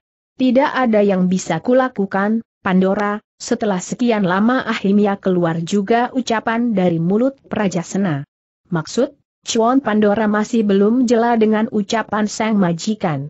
Kepandaianku sama sekali tidak berarti BLL dibandingkan dengan kepandaiannya, keluh Prajasena. Bagaimana Tuan bisa tahu tanya Pandora. Ada nada penasaran dalam suaranya. Apakah Tuan pernah bertarung dengan dia? Pendekar golok baja menggelengkan kepala. Eyang Wirageni yang mengatakan padaku, maksud, Tuan, sejak zaman iblis hitam pertama sampai yang terakhir, Yaitu ayahku, leluhur-leluhur Eng Wirageni berusaha menahan sepak terjang iblis hitam. Baik dengan care halus maupun care kasar. Lalu, hasilnya bagaimana? Chuan tanya Pandora ingin tahu. Iblis hitam menaklukkan mereka, keluh Prajasena. Kepandaian iblis hitam turun-temurun jauh di atas keturunan Eyang Wirageni. Apakah iblis hitam dan keturunannya membasmi leluhur-leluhur Eyang Wirageni tanya Pandora lagi. Pendekar golok baja menggelengkan kepala. Itulah hebatnya, sahut Praja Senab memadami muji. Betapapun sesatnya iblis hitam dan keturunannya, mereka tetap tidak membunuh leluhur-leluhur Eyang Wirageni turun-temurun.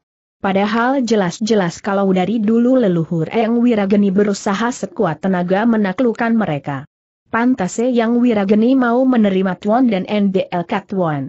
Meskipun dia tahu kalau Tuan dan adik Luan adalah keturunan iblis hitam, sambut pelayan setia itu mulai paham. Yah, Eyang Wirageni merasa berhutang budi. Suasana menjadi hening ketika pendekar golok baja menyelesaikan ucapannya. Kini yang terdengar di tempat itu hanya suara jangkrik dan serangga malam lainnya. Jadi, atas dasar kekalahan leluhur-leluhur Eng Wirageni turun-temurun itulah yang menyebabkan Chuan tidak yakin mampu mengalahkan iblis hitam tanya Pandora lagi, memecahkan keheningan malam. Ya, sahut Prajasena. Kini aku terhitung keturunan Eyang Wirageni. Dan aku telah menguasai seluruh ilmu leluhurnya. Tapi, iblis hitam yang tadi muncul juga telah menguasai seluruh ilmu warisan iblis hitam. Jadi, mana mungkin aku mampu mengalahkan dia? Di samping itu ada pantangan besar menentang leluhurku. Pandora terdiam seketika. Hanya yang masih membuatku bingung, dari mana iblis hitam tadi mendapatkan pusaka-pusakanya? Padahal, aku tahu pasti kalau ayah telah mewariskan semuanya padaku. Dan sejak diwariskan, peti itu sedaluku bawa-bawa. Dan hampir setiap hari aku memeriksa gemboknya, ucap Praja Sena dengan suara mengandung keheranan besar. Sewaktu Tuan memeriksa peti, apakah Tuan juga memeriksa isinya tanya Pandora ingin tahu. Kuakui aku memang ceroboh, Pandora. Aku sama sekali tidak memeriksa isinya. Begitu kulihat tutup peti masih tergembok, dan keadaan gembok tidak mengalami suatu tenanglah hatiku. Sungguh tidak kusangka kalau kecerobohanku berakibat fatal. Pandora menatap wajah majikan mudanya yang dipenuhi rasa penyesalan mendalam. Pelayan setia ini tidak berani mengeluarkan kata-kata lagi. Entah sejak kapan pusaka itu telah lenyap dari tempatnya, kembali pendekar golok baja menggumam pelan. Hahaha. Suara laan napas berat Pandora saja yang menjawab pertanyaan Prajasena. Kakek berwajah bintik-bintik putih itu tidak tahu harus berkata. Entah siapa orang yang telah mencemari nama leluhurku, ucap laki-laki gagah bercambang lebat itu lagi. Masih bernada keluhan. Dunia persilatan akan gempar kembali, Tuan, akhirnya keluar juga kata-kata dari mulut Pandora. Yah pendekar golok baja hanya mendesah pelan iblis hitam akan merajalela kembali tanpa ada seorang pun yang bisa menahannya, sela Pandora. Pendekar golok baja sama sekali tidak menanggapi ucapan Pandora. Kakinya kembali dilangkahkan menuju pondok Eyang Wirageni. Kehadiran iblis hitam membuat Praja Sena mendadak bisa bangkit berdiri dan berjalan normal. Hanya saja tenaga dalamnya belum pulih secara keseluruhan.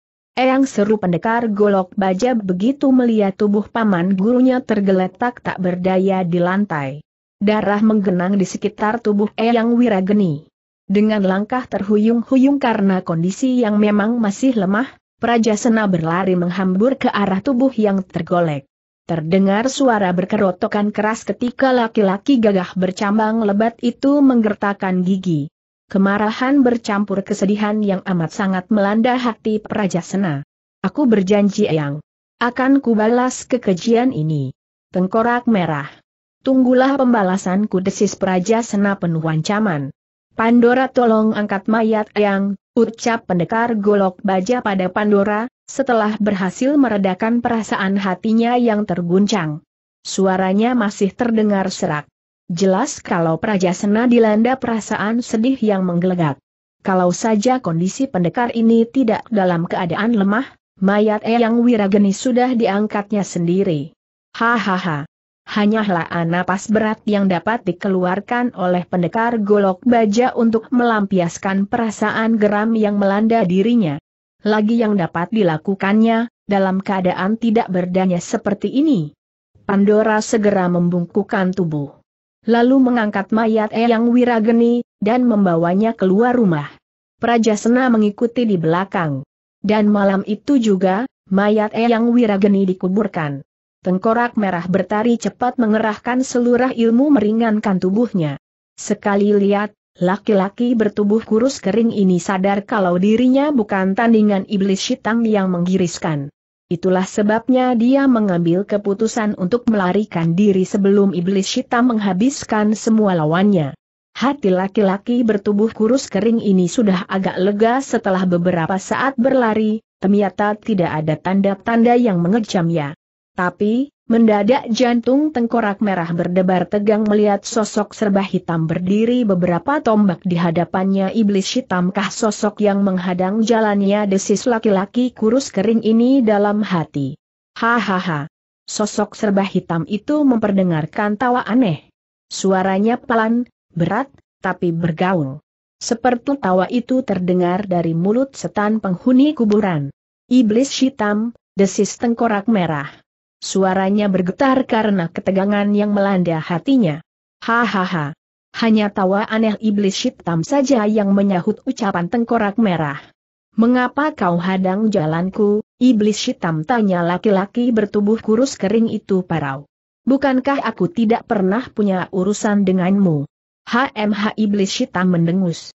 Tidak usah berdusta, tengkorak merah aku tidak berdusta, tengkorak merah mencoba membantah. HMH kembali iblis hitam mendengus.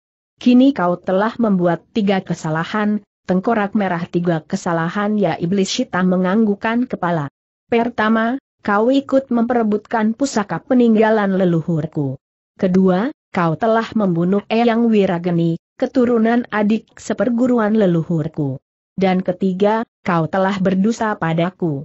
Kau punya tiga kesalahan, tengkorak merah nyawa busukmu tidak akan cukup untuk menebus kesalahanmu. Seketika wajah tengkorak merah pucat karena tahu kalau dirinya bukan tandingan iblis hitam. Meskipun begitu, tentu saja laut laki kurus kering ini tidak mau menyerahkan nyawa begitu saja. Sadar kalau tidak akan mendapat ampunan iblis hitam, perasaan gentarnya berubah menjadi rasa nekat. Keparat. Kaulah yang akan mampus di tanganku, iblis hitam. Setelah berkata demikian, tengkorak merah segera memutar-mutar tongkat merah berujung tengkorak kepala manusia yang tergenggam di tangannya. Wuk, wuk, wuk. Angin menderu keras mengiringi putaran tongkat itu. Kemudian dia disertai teriakan nyaring, tengkorak merah menyodokkan tongkatnya ke dada iblis hitam. Hahaha. Iblis hitam hanya tertawa menyeramkan. Serangan maut yang mengancamnya sama sekali tidak dihiraukan. Padahal angin serangan tongkat itu saja sudah membuat batu-batu kecil berterbangan tak tentu arah. Tengkorak merah agak terkejut juga melihat kejadian ini, dia memang sudah mendengar legenda kalau iblis hitam tak mungkin bisa dilukai oleh serangan pun karena kemukjizatan pusakanya. Bahkan tadi pun telah disaksikannya sendiri kalau iblis itu memang tidak bisa dilukai. Tapi, sebelum membuktikan Rie sendiri, Laki-laki bertubuh kurus kering ini tidak percaya. Dan inilah kesalahannya. Buk. Telak dan cepat sekali ujung tongkat yang berbentuk tengkorak kepala manusia menusuk dada iblis hitam tapi aneh. Sosok itu tak bergeming sedikit pun. Ah! Tengkorak merah memekik kaget. Dan sebelum sempat berbuat sesuatu, tahu-tahu kaki kanan iblis hitam telah melesat ke perutnya. Wut! Buk! Hiu! Tengkorak merah mengeluh tertahan dengan tubuh terbungkuk. Seketika rasa sakit dan mual melanda perut laki-laki bertubuh kurus kering ini. Tendangan keras itu telak mengenai perut ada cairan merah kental menitik di sudut-sudut mulutnya. Iblis hitam tidak hanya bertindak sampai di situ saja, cepat laksana kilat tangan tokoh sesat yang menggiriskan itu menampar deras ke arah pelipis.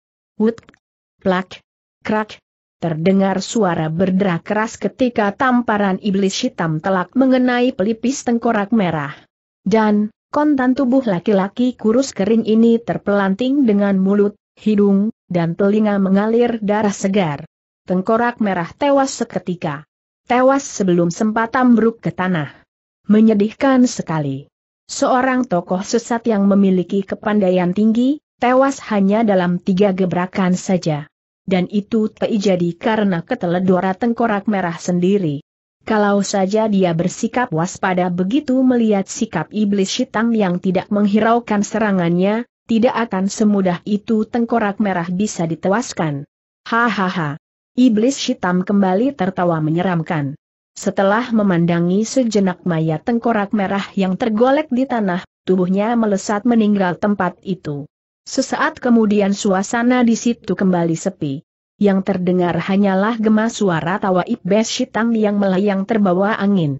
Hari mulai siang ketika matahari perlahan-lahan merangkak ke arah barat. Udara pun sudah tidak lagi segar, ketika seorang pemuda dan seorang wanita muda melangkah pelan memasuki sebuah kedai di desa Jolang. Pemuda itu paling banyak baru berusia 21 tahun, rambut panjangnya yang berwarna putih keperakan dibiarkan riap-riapan. Di punggung pemuda berpakaian ungu itu tersampir sebuah guci arak dari perak. Sementara wanita muda berpakaian serba putih yang berijalan di sebelahnya, berusia sekitar 20 tahun, wajahnya cantik bukan main. Rambut hitam dan panjang yang dibiarkan terurai, Leon menambah daya tank penampilannya. Sejenak kedua muda-mudi itu tertegun di pintu kedai. Sepasang mata mereka merayapi setiap sudut kedai, mencari meja yang masih kosong. Saat ini kedai memang ramai dipenuhi pengunjung. Banyak orang yang tengah bersantap di dalamnya dan menilik dari pakaian yang mereka kenakan, bisa ditebak kalau pengunjung kedai adalah orang-orang persilatan. Untunglah masih ada sebuah meja yang masih kosong. Agak bergegas kedua muda-mudi itu menghampiri. Kemudian menghenyakan tubuh di kursi. Seorang laki-laki setengah tua, bertubuh pendek tergopoh-gopoh menghampiri. Sewaktu berjalan, perutnya yang buncit mirip gentong air, terlihat bergoyang-goyang mau makan, dan tanya laki-laki yang ternyata adalah pemilik kedai. Kau mau pesan? Melati tanya pemuda berambut putih keperakan seraya menatap wajah temannya. Terserah kau sajalah, Kang Arya, sahut gadis berpakaian serba putih yang ternyata adalah Melati. Putri angkat Raja Kerajaan Bojong Gading.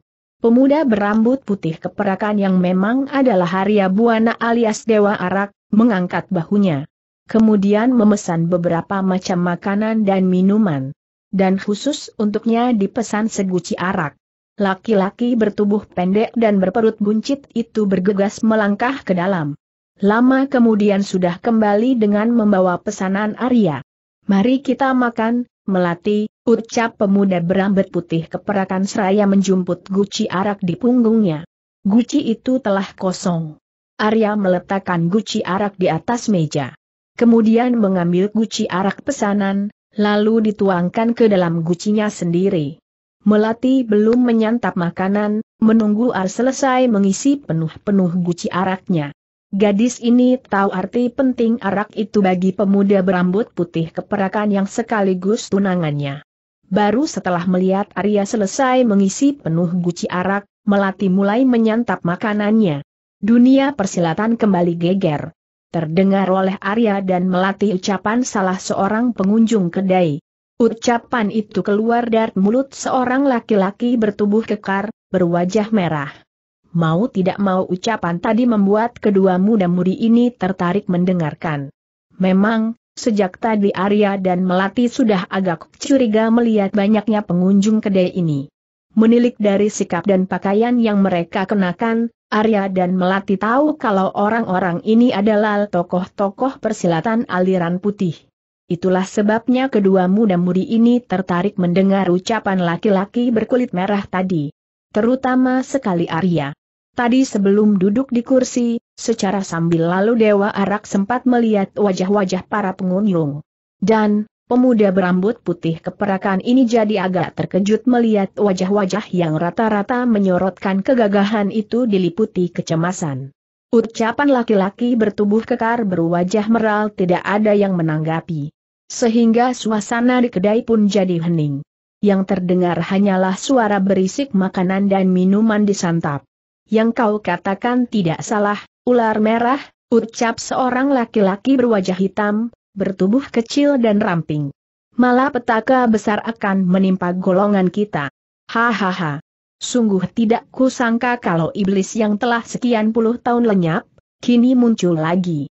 Dan, seperti kejadian sebelumnya, sudah bisa kuperlerakan kalau kali ini pun iblis hitam tidak akan mengalami kesulitan melakukan kejahatannya, sambut ular merah. Suaranya terdengar penuh keputusasaan. Dia pasti akan membalas sakit hati leluhurnya dulu, sambung salah seorang lainnya. Kau ketinggalan berita, kisanak, selak laki-laki berwajah hitam. Iblis hitam telah melancarkan pembalasannya. Benarkah itu, kucing memuka hitam tanya ular merah setengah tidak percaya. Laki-laki yang yang ternyata berjuluk kucing muka hitam itu menganggukkan kepalanya. Kemarin malam perguruan Bangau Tong Tong telah hancur di obrak-abrik iblis hitam. Ah! Kalau begitu benar, Iblis itu mulai membalaskan dendam leluhurnya sambut ular merah kaget ketua perguruan Bangau Tong Tong dulunya adalah salah seorang pengeroyok iblis hitam. Benar, kucing memuka hitam menganggukkan kepala. Dan nanti malam, iblis hitam akan menyatroni perguruan cakar harimau. Si harimau terbang, ketua perguruan cakar harimau juga salah seorang pembunuh leluhur iblis hitam. Apakah kau benar-benar yakin, Kucing memuka hitam tanya salah seorang tokoh persilatan lain, meminta ketegasan. Laki-laki berwajah hitam, bertubuh kecil dan ramping itu menganggukkan kepala. Kemarin malam, perguruan cakar harimau telah menerima ancaman itu. Di papan nama perguruan mereka terdapat tanda tapak tangan hitam. Tanda khas iblis hitam. Kita tidak boleh tinggal diam sambut tokoh persilatan yang lain lagi. Ya sambut yang seorang lagi. Betul sahut lainnya menyetujui. Kita bantu perguruan cakar harimau menghadapi iblis keparat itu akur. Seluruh dinding kedai bergetar begitu para tokoh yang jumlahnya 12 orang berikrar berbarengan.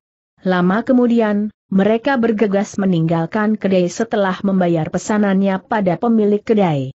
Sedikit pun mereka menoleh pada Arya atau Melati. Seluruh pikiran mereka tertuju pada tokoh yang berjuluk Iblis Hitam. Sepeninggal tokoh-tokoh persilatan golongan putih itu, Arya termenung. Dahi pemuda berambut putih keperakan ini berkemit dalam. Jelas ada sesuatu yang mengganggu pikirannya. Paman. Arya melambaikan tangan memanggil laki-laki tua pemilik kedai. Ada, dan tanya laki-laki berperat buncit itu seraya bergegas menghampiri. Sejak tadi pemilik kedai ini memang dilanda perasaan bingung melihat Arya. Seumur hidupnya, dia belum pernah melihat orang yang masih begitu muda memiliki rambut putih. Putihnya indah lagi. Apakah yang menyebabkannya tanya laki-laki setengah tua, berperut buncit ini dalam hati. Bisa kau ceritakan padaku, yang tengah terjadi di desa ini tanya Arya Seraya menatap tajam wajah pemilik kedai. Karuan saja laki-laki setengah tua TNI menjadi gugup. Sepasang bola mata pemuda berambut putih keperakan dilihatnya mencorong tajam, seperti mata seekor harimau dalam gelap. Ses, sebetulnya, tidak ada. Dan, eh ahut pemilik kedai setelah beberapa saat terdiam. Ucapannya terbata-bata. Tapi, sebenarnya ada kan, Paman Arya memojokkan laki-laki berperut buncit itu. Periahan kepala laki-laki pemilik kedai itu terengguk pelan. Tapi, belum menimpa para penduduk desa, jadi, Arya mulai mengerti. Ya, hanya menimpa orang-orang persilatan saja, sambung pemilik kedai. Mungkin bagian untuk penduduk desa hanya tinggal menunggu waktu saja. Iblis hitam telah turun-temurun merajalela tanpa tertandingi.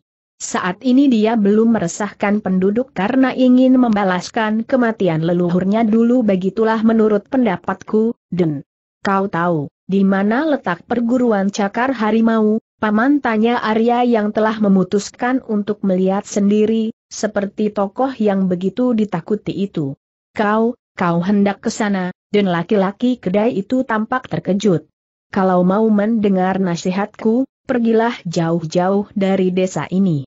Dan, jangan coba-coba mencampuri urusan iblis hitam, dan percuma. Memangnya kenapa, Paman Melati yang sejak tadi diam, akhirnya tidak tahan memendam rasa ingin tahu. Sikap laut laki berperut buncit yang terlalu meremahkan Arya dan dia, membuat hatinya dongkol. Iblis hitam tidak akan pernah bisa dikalahkan oleh siapa pun. Dan itu memang telah terbukti. Lebih dari seratus tahun iblis hitam bercokol di wilayah utara ini tanpa ada seorang pun yang sanggup mencegah. Seratus tahun pekik Arya karena terkejut jadi, iblis hitam sudah tua, paman. Sama sekali tidak, dan, sahut pemilik kedai. Kejahatan iblis hitam dilanjutkan oleh keturunan-keturunannya. Baru pada keturunan yang entah keberapa, akhirnya iblis hitam berhasil ditewaskan. Itu pun karena iblis hitam tidak sempat menggunakan pusakanya. Tambahan lagi pengeroyoknya adalah pentolan tokoh-tokoh persilatan aliran putih. Sungguh tidak disangka setelah puluhan tahun menghilang, keturunan iblis hitam muncul kembali, ucap laki-laki itu mengakhiri ceritanya. Bagaimana? masih kepingin ke perguruan cakar harimau, dan... Maaf, Paman. Bukannya aku tidak menghargai nasihatmu. Tapi, aku ingin sekali melihat tokoh yang begitu menggiriskan itu. Hahaha. Pemilik kedai menghela napas berat kemudian menunjukkan jalan yang harus ditempuh menuju perguruan cakar harimau. Terima kasih, Paman, ucap Arya. Setelah membayar pesanannya, Kedua muda-mudi ini bergegas meninggalkan kedai dengan tergesa-gesa. Suara kukuk burung hantu menguak keheningan malam. Langit nampak bersih, tak terlihat sedikit pun awan yang menggantung. Bulan penuh di langit nampak indah, terselaput warna kuning keemasan. Sementer bintang-bintang yang berkelap-kelip semakin menambah indahnya malam. Di bawah terangnya suasana malam Bu Mama, nampak sesosok bayangan hitam berkelebat, Gerakannya cepat bukan main. Sehingga yang terlihat hanyalah sekelebat bayangan hitam saja. Sosok bayangan serba hitam itu terus berkelebat. Rupa sosok bayangan hitam itu terlihat jelas di bawah jelatan sinar rembulan. Sosok bayangan itu ternyata iblis hitam. Iblis hitam terus berlari cepat. Langkahnya baru agak diperiambat ketika mulai mendekati bangunan besar berhalaman luas. Sebuah bangunan megah yang dikelilingi pagar kayu bulat tinggi. Sepasang mata iblis hitam berbinar-binar begitu menatap bagian atas pintu gerbang di sana terpampang sebuah papan tebal berukir yang bertufiskan huruf-huruf indah. Perguruan Cakar Harimau. Sekali melompat, tubuh iblis itu telah berada tepat di depan pintu gerbang perguruan Cakar Harimau dan, begitu telah berada tepat di depannya, Iblis hitam menghantamkan kedua tangannya yang terbungkus sarung tangan hitam ke daun pintu. Brak!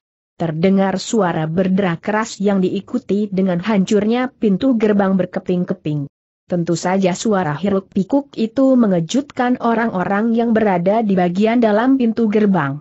Sejak tadi mereka memang telah bersiap-siap menyambut kedatangan iblis yang menggiriskan itu di antara murid-murid perguruan cakar harimau itu sendiri, terlihat ular merah, kucing memuka hitam, dan semua tokoh persilatan yang tadi ada di kedai. Hahaha. Iblis hitam memperdengarkan tawa aneh. Suaranya pelan, tapi berat dan bergaul. Sepertinya tawa itu tidak mungkin keluar dari mulut manusia biasa. Iblis hitam menatap puluhan sosok yang berdiri sekitar lima tombak di depannya sambil terus tertawa. Di tangan mereka telah tergenggam berbagai jenis senjata. Rupanya kau sudah siap menyambut kedatanganku, harimau terbang, dengus iblis hitam. Tidak usah banyak basa-basi, iblis hitam serga harimau terbang keras. Aku memang tidak ingin berbasa-basi dengan pembunuh leluhurku sahut iblis hitam dingin. Aku datang untuk mengambil nyawamu, harimau terbang. Begitu menyelesaikan ucapannya, iblis hitam yang memang sudah tidak sabar lagi segera bersiap si mengeluarkan ilmu andalannya, ilmu tapak penggetar jagat. Aneh sekali jurus pembukaan ilmu ini. Dada dan perutnya dihadapkan ke samping kiri. Begitu juga arah ujung-ujung jari kaki. Kedua kaki iblis hitam agak menjinjit. Posisi jari-jari kedua tangannya terbuka. Bagian tubuh sebelah kanan agak direndahkan sambil menarik tangan kirinya ke pinggang. Sementara tangan kanan yang semula berada di depan dada, perlahan-lahan tapi penuh tenaga didorong ke depan. Seketika terdengar suara angin berkerosak nyaring ketika tangan itu bergerak mendorong. Dan secepat jurus pembukaannya dimulai, secepat TTU pula tokoh hitam ini melesat cepat bukan main gerakannya. Sehingga yang terlihat hanya sekelebat bayangan hitam yang meluruk cepat ke arah ketua perguruan cakar harimau. Jubahnya berkibaran terhembus angin. Aneh bukan main ilmu yang dimainkan oleh iblis hitam. Mula-mula kedua tangannya, dengan jel jari tangan terbuka disilangkan di depan dada. Tangan kanan berada di atas tangan kiri. Kemudian, Cepat bukan main badannya agak diputar sedikit ke kanan sambil menyampokkan kedua tangannya berbarengan mengancam dada dan ulu hati lawan. Suara berkerosakan nyaring terdengar sebelum serangan iblis hitam tiba. Harimau terbang tidak berani bersikap main-main. Kakek berkumis mirip harimau ini segera mencabut sebatang pedang bergagang kepala harimau. Dan kemudian dikelebatkan, menangkis serangan yang mengancam dada dan ulu hatinya. Singa. Trak. Benturan antara sebatang pedang dan sepasang tangan terbungkus sarung tangan hitam terdengar keras. Akibatnya, tubuh harimau terbang terhuyung-huyung lima tombak ke belakang. Sekujur tangan yang memegang pedang dirasakan lumpuh seketika. Bahkan dadanya pun terasa sesak bukan main.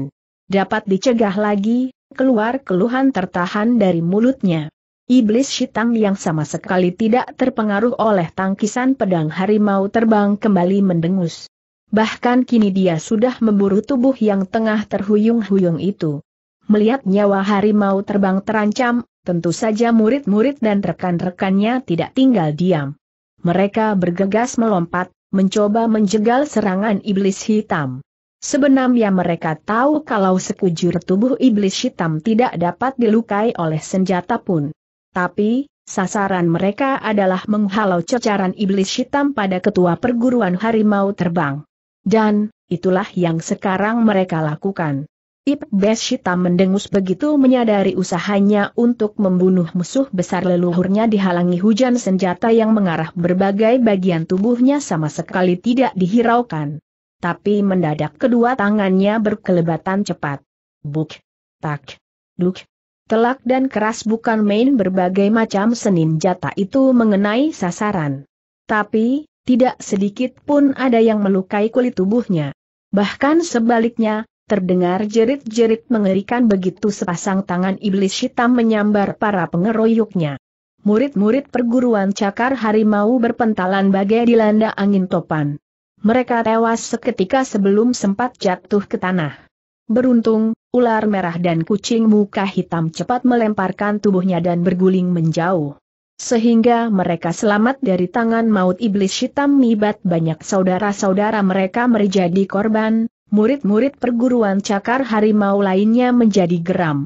Berbondong-bondong mereka menyerbu iblis hitam. Ketinggalan pula ular merah dan kucing muka hitam serta harimau terbang. Sesaat kemudian pertarungan sengit pun terjadi. Iblis hitam yang sudah mulai mengamuk. Sama sekali tidak mempedulikan setiap serangan yang mengancam berbagai bagian tubuhnya. Terdengar jerit kematian saling susul dari pengeroyok yang roboh setiap kali sepasang telapak tangan iblis hitam berkelebat. Mengerikan, setiap orang yang tersambar serangan balasan iblis hitam tidak akan pernah bangkit lagi selamanya. Malam itu halaman depan perguruan harimau terbang benar-benar menjadi arna pembantaian besar-besaran. Harimau terbang menggertakkan gigi. Pedang bergagang kepala harimau di tangannya berkelebatan semakin dahsyat berbagai macam perasaan bercampur aduk dalam hati ketua perguruan cakar harimau ini. Perasaan sedih, marah, dan sakit hati bercampur baur melihat murid-muridnya berguguran tanpa mampu melindungi mereka. Kini kemarahannya diampiaskan dalam serangannya. Belum lagi sepuluh jurus pertarungan berlangsung, sudah tidak terhitung lagi jumlah korban amukan iblis hitam. Dan beberapa jurus selanjutnya yang tinggal hanyalah harimau terbang, kucing memuka hitam, dan ular merah. Akhir dari pertarungan sudah bisa diramalkan. Iblis hitam akan keluar sebagai pemenang. Hahaha, El Iblis hitam kembali tertawa terbahak-bahak. Kematianmu sudah diambang pintu, harimau terbang. Harimau terbang hanya dapat menggertakkan gigi untuk mengusir kegeraman hatinya sejak awal sebenarnya kakek ini menyadari tidak ada gunanya menyerangkan serangan. Tapi, ketua perguruan cakar harimau ini tetap memaksakan diri terus menyerang. Haaat! disertai teriakan keras, ular merah mengayunkan ruyungnya ke arah pelipis kiri lawan dengan kekuatan penuh. Dia tidak percaya seandainya kepala iblis hitam mampu bertahan terhadap pukulan ruyungnya. Wut! Angin bertiup keras mengiringi tibanya serangan ruyung ular merah. Dan pada saat yang bersamaan, cakar baja kucing muka hitam ditusukkan ke pelipis kanan iblis hitam. Sedangkan harimau terbang mi lompat dan menusukkan pedang ke arah mata. Iblis hitam hanya mendengus. Tahu-tahu tangannya bergerak dengan kecepatan yang sukar diikuti mata biasa. Dan sesaat kemudian di kedua tangannya telah tergenggam sebatang kapak hitam mengkilat, secepat kedua kapak telah berada di tangan, secepat itu pula tubuhnya dirundukkan dan menyelinap ke depan seraya membabatkan kapaknya. Wut, wut, krat, Krat, tubuh harimau terbang, kucing memuka hitam, dan ular merah menggelepar. Tepat sekali sepasang kapak di tangan iblis hitam menyerempet perut mereka. Seketika itu juga darah mengalir dari luka di perut yang menganga lebar. Hahaha. Iblis hitam tertawa bergelak melihat tubuh ketiga pengeroyoknya mulai limbung. Tapi, hal itu hanya berlangsung sesaat saja. Kemudian tubuh mereka roboh di lanah sambil bergelaparan sebelum akhirnya diam tidak bergerak lagi. Harimau terbang, kucing memuka hitam, dan ular merah tewas dengan sekujur kulit membiru. Kau dengar suara tawa itu, melati tanya dewa tanpa mengurangi kecepatan larinya. Kepalanya ditolehkan ke arah serut wajah cantik jelita yang tengah berlari di sebelahnya. Ya, Ken, sahut gadis berpakaian putih seraya menganggukkan kepala. Aku khawatir kita terlambat, Melati, ucap Arya lagi. Maksudmu tanya Melati walaupun sebenarnya sudah bisa menduga arah pembicaraan tunangannya. Iblis hitam telah membalas dendamnya. Ah hanya suara keluh keterkejutan saja yang terdengar dari mulut gadis berpakaian putih itu. Arya tidak berkata-kata lagi. Sepasang kaldenya terus saja bergerak cepat menuju markas perguruan cakar harimau. Hei! Arya berseru kaget ketika di depannya melesat sosok bayangan hitam yang memotong arah larinya. Terpaksa pemuda berambut putih keperakan ini agak menahan langkahnya agar tidak menabrak sosok bayangan hitam ladi sementara sosok bayangan hitam yang ternyata adalah iblis hitam sama sekali tidak ambil peduli. Iblis itu terus berlari cepat.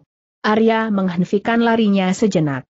Sepasang matanya menyipil memperhatikan sosok bayangan hitam yang semakin lama semakin menjauh. Dan akhirnya lenyap di telah kegelapan malam. Melati juga berhenti berlari. Gadis berpakaian putih ini juga melihat sosok bayangan hitam yang memotong di depan kekasihnya. Siapa dia? Kang Arya tanya Melati. Mungkin, dia adalah iblis hitam tanda seru gumam Dewa Arak seper bertanya pada dirinya sendiri. Memangnya kalau orang tadi iblis hitam kenapa melati malah balas bertanya? Arya tidak langsung menjawab. Sepasang matanya dialihkan ke arah asal bayangan itu. Seketika alis pemuda berambu putih keperakan ini berkerut arah yang ditinggalkan bayangan hitam tadi adalah tempat yang akan ditujunya. Markas perguruan cakar harimau. Ah! Kedatangan kita terlambat, ucap Arya Bemada mengeluh. Maksudmu dada melati berdebar tegang. Iblis hitam telah menyelesaikan tugasnya. Dan, Perguruan cakar lari mau hanya tinggal nama saja, sahut pemuda berambut putih keperakan, bernada memberitahu. Dari manakah mengambil kesimpulan demikian, Kang Arya tanya Melati ingin tahu. Kau tahu, dari arah mana bayangan hitam tadi berasal Dewa Arak malah balas bertanya. Tanpa dugaan apa-apa, Melati mengarahkan pandangannya ke arah asal sosok bayangan hitam tadi. Dan seketika gadis ini terkejut. Perguruan cakar harimau, desis Melati pelan. Nada keterkejutan yang amat sangat terlihat jelas di wajahnya. Arya sama sekali tidak menanggapi, hanya kepalanya saja yang mengangguk pelan. Meskipun begitu, sudah cukup dimengerti oleh Melati. Kalau begitu, kita harus cepat-cepat ke sana, Kang Arya. Belum habis gemak ucapan melati, tahu-tahu tubuh Arya dan kekasihnya telah melesat dari situ.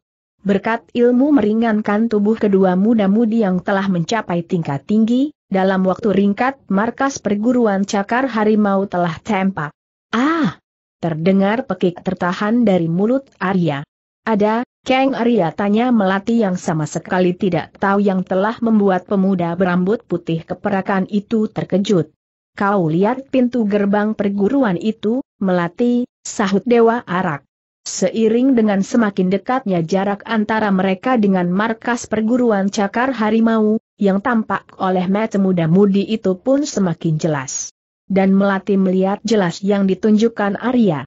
Sekejap kemudian Dewa Arak dan Melati tiba di depan pintu gerbang perguruan cakar harimau. Yang semula ku khawatirkan akhirnya terjadi juga, keluh Dewa Arak begitu sepasang matanya tertumbuk pada puluhan mayat yang bergeletakan di halaman perguruan cakar harimau. Dengan langkah lesu, Arya menghampiri orang-orang malang itu. Melati pun mengikuti di belakang dengan bulu kuduk merinding. Arya menggeleng-gelengkan kepala begitu melihat mayat-mayat yang bergeletakan di tanah. Semuanya sudah mulai kaku. Keji, hanya ucapan itu yang keluar dari mulut Arya. Mendadak pemuda berambut putih keperakan itu menelengkan kepala ketika menangkap suara langkah kaki mendekat. Pendengarannya yang tajam menangkap kalau pendatang itu tidak hanya satu orang. Ternyata bukan hanya Arya saja yang mendengar suara itu. Melati pun mendengarnya. Terbukti, gadis ini menoleh ke arah kekasihnya.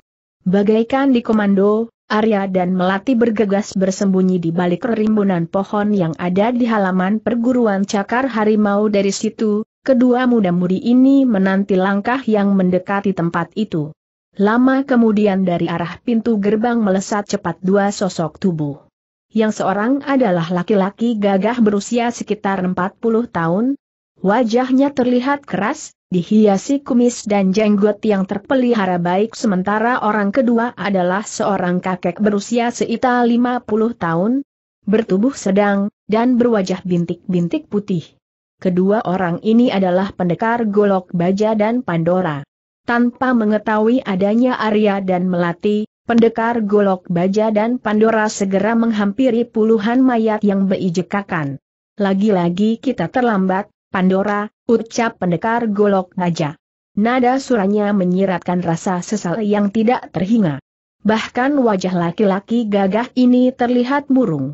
Chuan harus bertindak ucap Pandora lembut. Dayaku, Pandra, aku tidak akan mampu menandinginya. Dan lagi, sepertinya iblis hitam selalu menghindari kita. Dia tidak mau bentrok dengan kita. Tapi, Tuan, Pandora, aku tidak bisa bertarung dengan leluhurku sendiri tandas pendekar golok baja yang sebenarnya bernama Prajasen. Maaf, Tuan, selak Priora. Bukan aku hendak menentang Tuan. Tapi, aku tidak percaya kalau orang di balik seragam iblis hitam adalah iluhur Tuan. Hahaha pendekar golok baja menghela napas sambil tetap memperhatikan mayat-mayat yang bergeletakan. Ada yang belum kau ketahui tentang iblis hitam dan keturunannya, Pandora. Maksud, Chuan tanya pelayan setia itu tak mengerti. Kalau bukan keturunan iblis hitam, kegunaan pusaka-pusaka itu tidak akan berarti banyak, jawab Raja Sena mencoba memberitahu. Pandora mengemitkan kening, sementara sepasang matanya menatap majikan mudanya dengan sorot mata penuh tanda tanya. Pendekar golok baja yang tahu kalau laki-laki berwajah bintik-bintik putih ini belum mengerti maksud kata-katanya, menerangkan lebih lanjut. Lama sebelum tiba hari naasnya, ayah telah menceritakan semua kegunaan pusaka peninggalan leluhurku. Yang terutama sekali adalah mantel, dan selubung. Perlu kau tahu, Pandora. Jika pusaka peninggalan leluhurku jatuh ke tangan orang lain, tubuh pemakainya hanya kebal terhadap senjata-senjata tajam. Pendekar golok baja menghentikan cerita untuk mengambil napas. Ditatapnya wajah Pandora sejenak.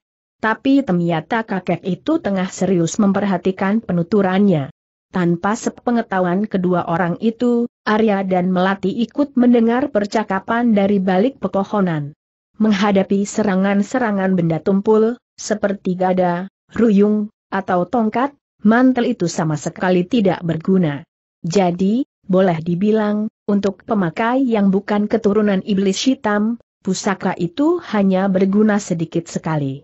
Jadi walaupun sudah mengenakan semua perlengkapan iblis hitam, orang itu akan tetap terluka bila terkena pukulan atau tendangan lawannya. Jadi, mantel dan selubung itu hanya berguna pada saat berhadapan dengan orang yang bersenjata tajam saja, Chuan Pandora kini mulai mengerti. Pendekar golok baja menganggukkan kepalanya. Kenapa bisa begitu, Tuan? Mengapa hanya pada keturunan iblis hitam saja, pusaka-pusaka itu berguna sampai ke puncaknya? Ada rahasianya, Pandora, sahut Praja Sena setelah beberapa saat termenung. Boleh aku tahu, Tuan, kau berjanji tidak akan mengatakannya pada orang lain pendekar golok baja malah balik bertanya. Pertanyaan pelayan setianya sama sekali tak dihiraukan. Aku beri janji, Chuan tanda Pandora tegas. Kalau begitu, dengar baik-baik cerita yang kudengar dari ayahku ini. Prajasena tercenung sejenak. Entah untuk laki-laki gagah ini tercenung. Mungkin mencari kata-kata untuk mulai bercerita atau mengerahkan ingatan pada cerita ayahnya. Menurut cerita almarhum ayah, leluhurku membuat seragam iblis hitam sekitar 100 tahun yang lalu. Entah dari bahan, ayah pun tidak tahu, karena kakek memang tidak menceritakan padanya. Pandora mengangguk-anggukan kepala. Sementara Arya dan Melati semakin tertarik mendengarkan rupanya tokoh sesat yang berjuluk Iblis Hitam memeliul riwayat yang menarik, pikir kedua muda-mudi itu kagum. Tapi yang jelas, keistimewaan semua perlengkapan yang dibuat leluhurku tidak seperti yang selama ini kita dengar. Dengan berbagai macam cara, leluhurku berusaha menambah kegunaan perlengkapannya. Campuran antara ilmu hitam, racun dan entah lagi yang aku tidak tahu. Hingga akhirnya perlengkapan itu mempunyai kegunaan seperti sekarang.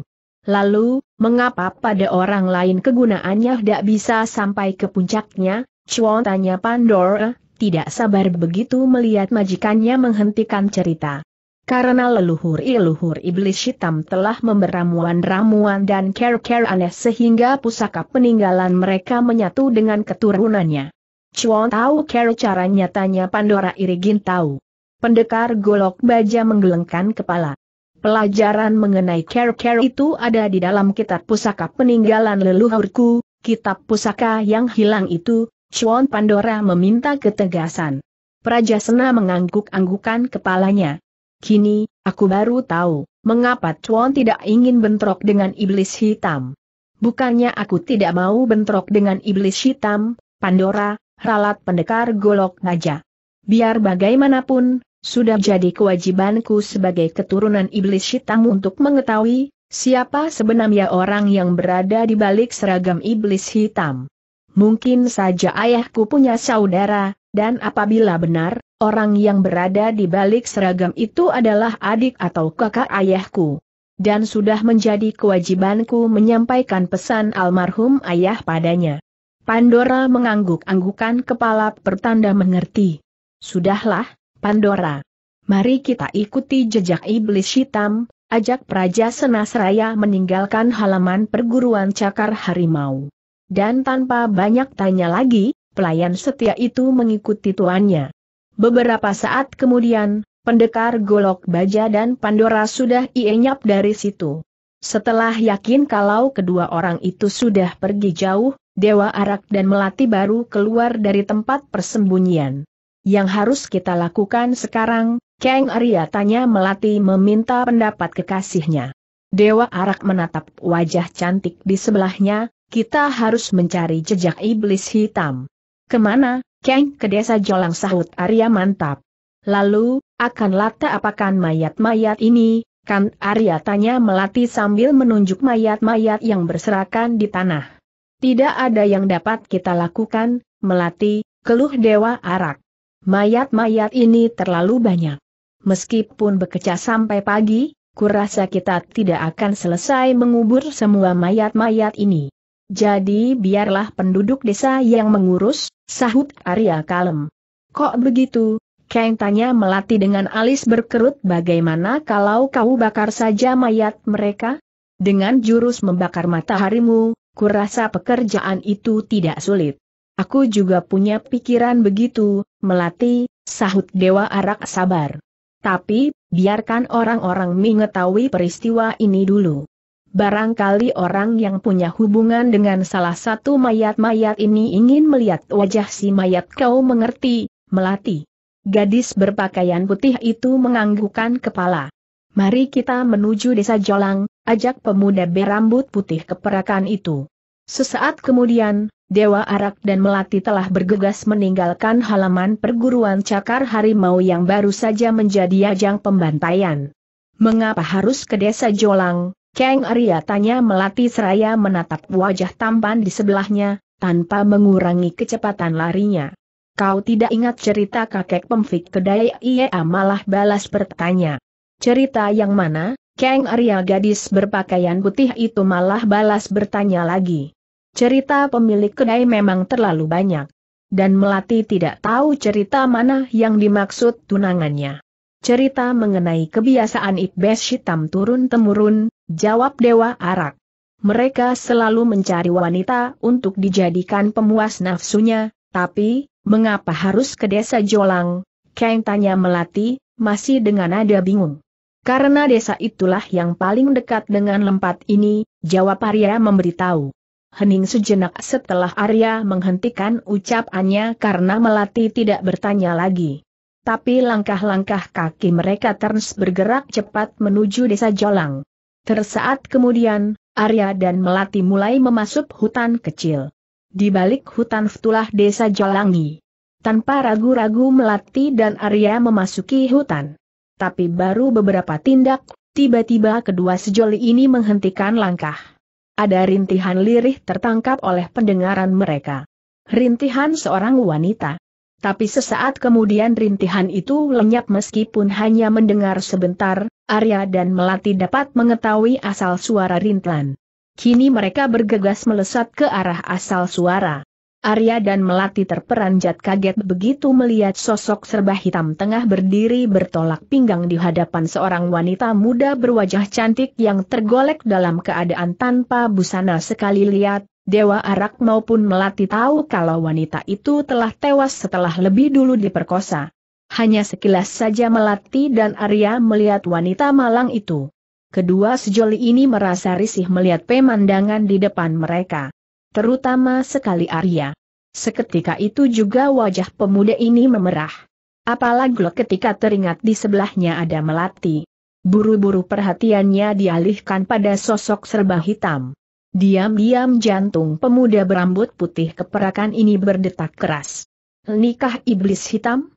Wajarlah kalau dia begitu ditakuti, pikir Dewa Arak dalam hati. Wibawa iblis hitam memang sangat luar biasa.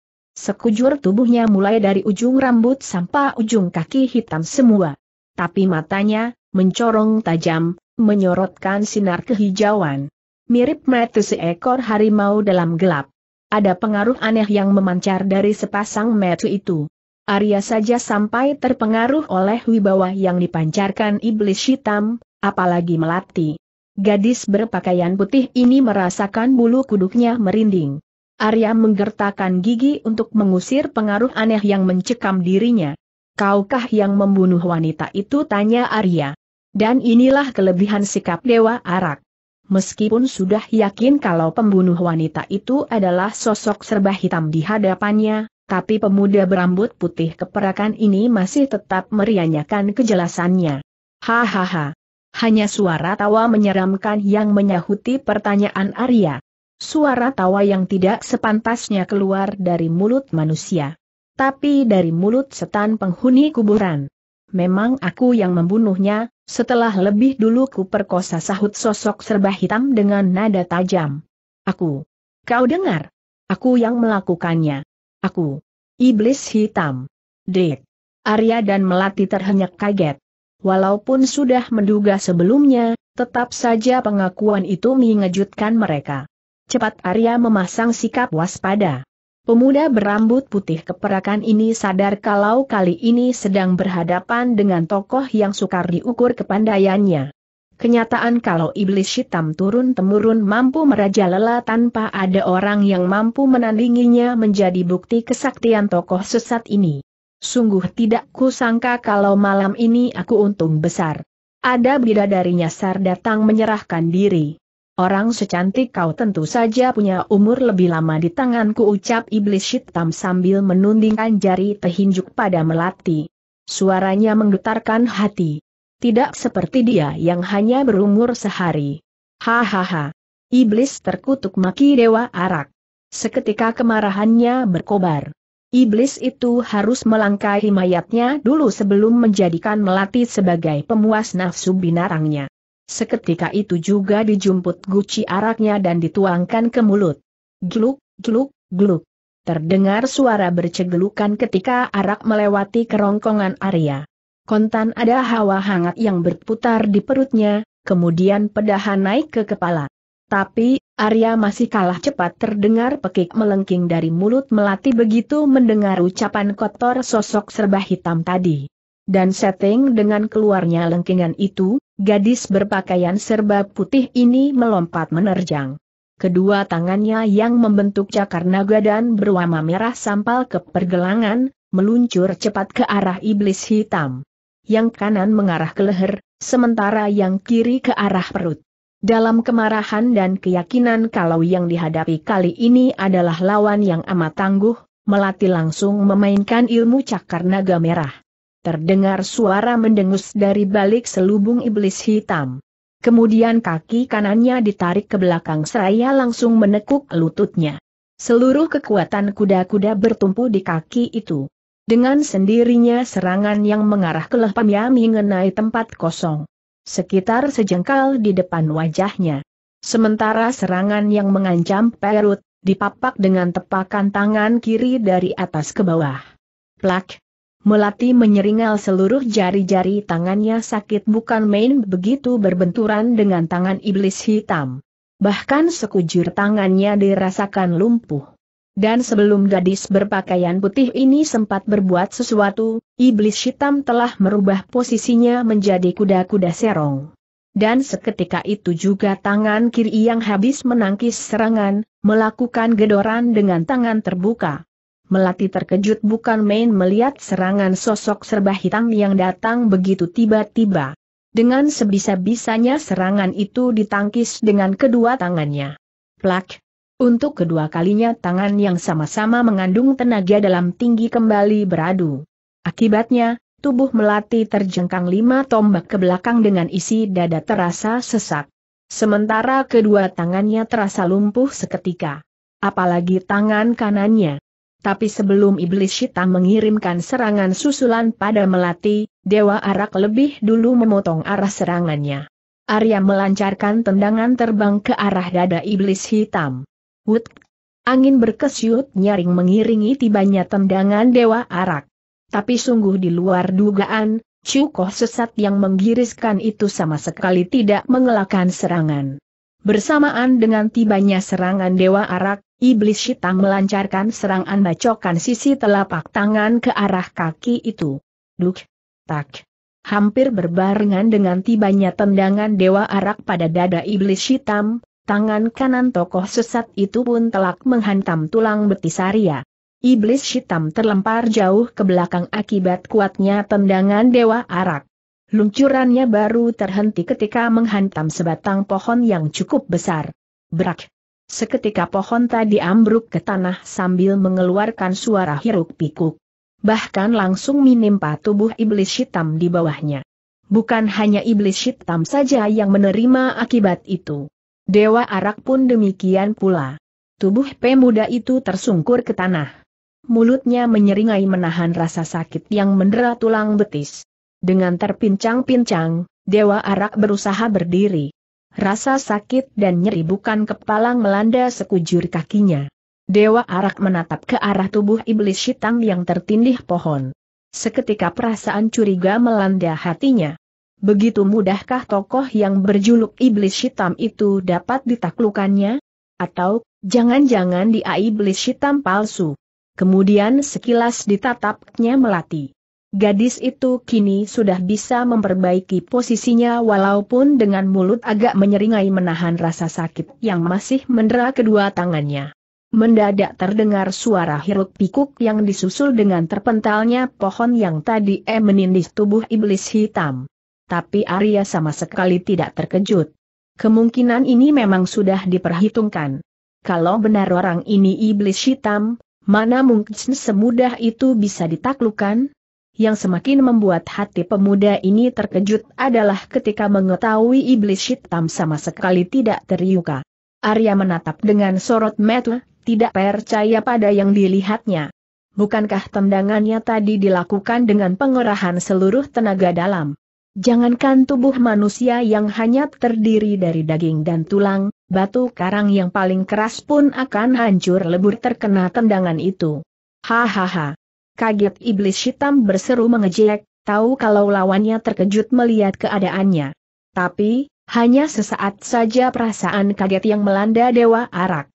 Segera saja dia teringat penuturan yang didengar dari cerita kakek pemilik kedai maupun oleh orang yang diketahuinya sebagai majikan Pandora.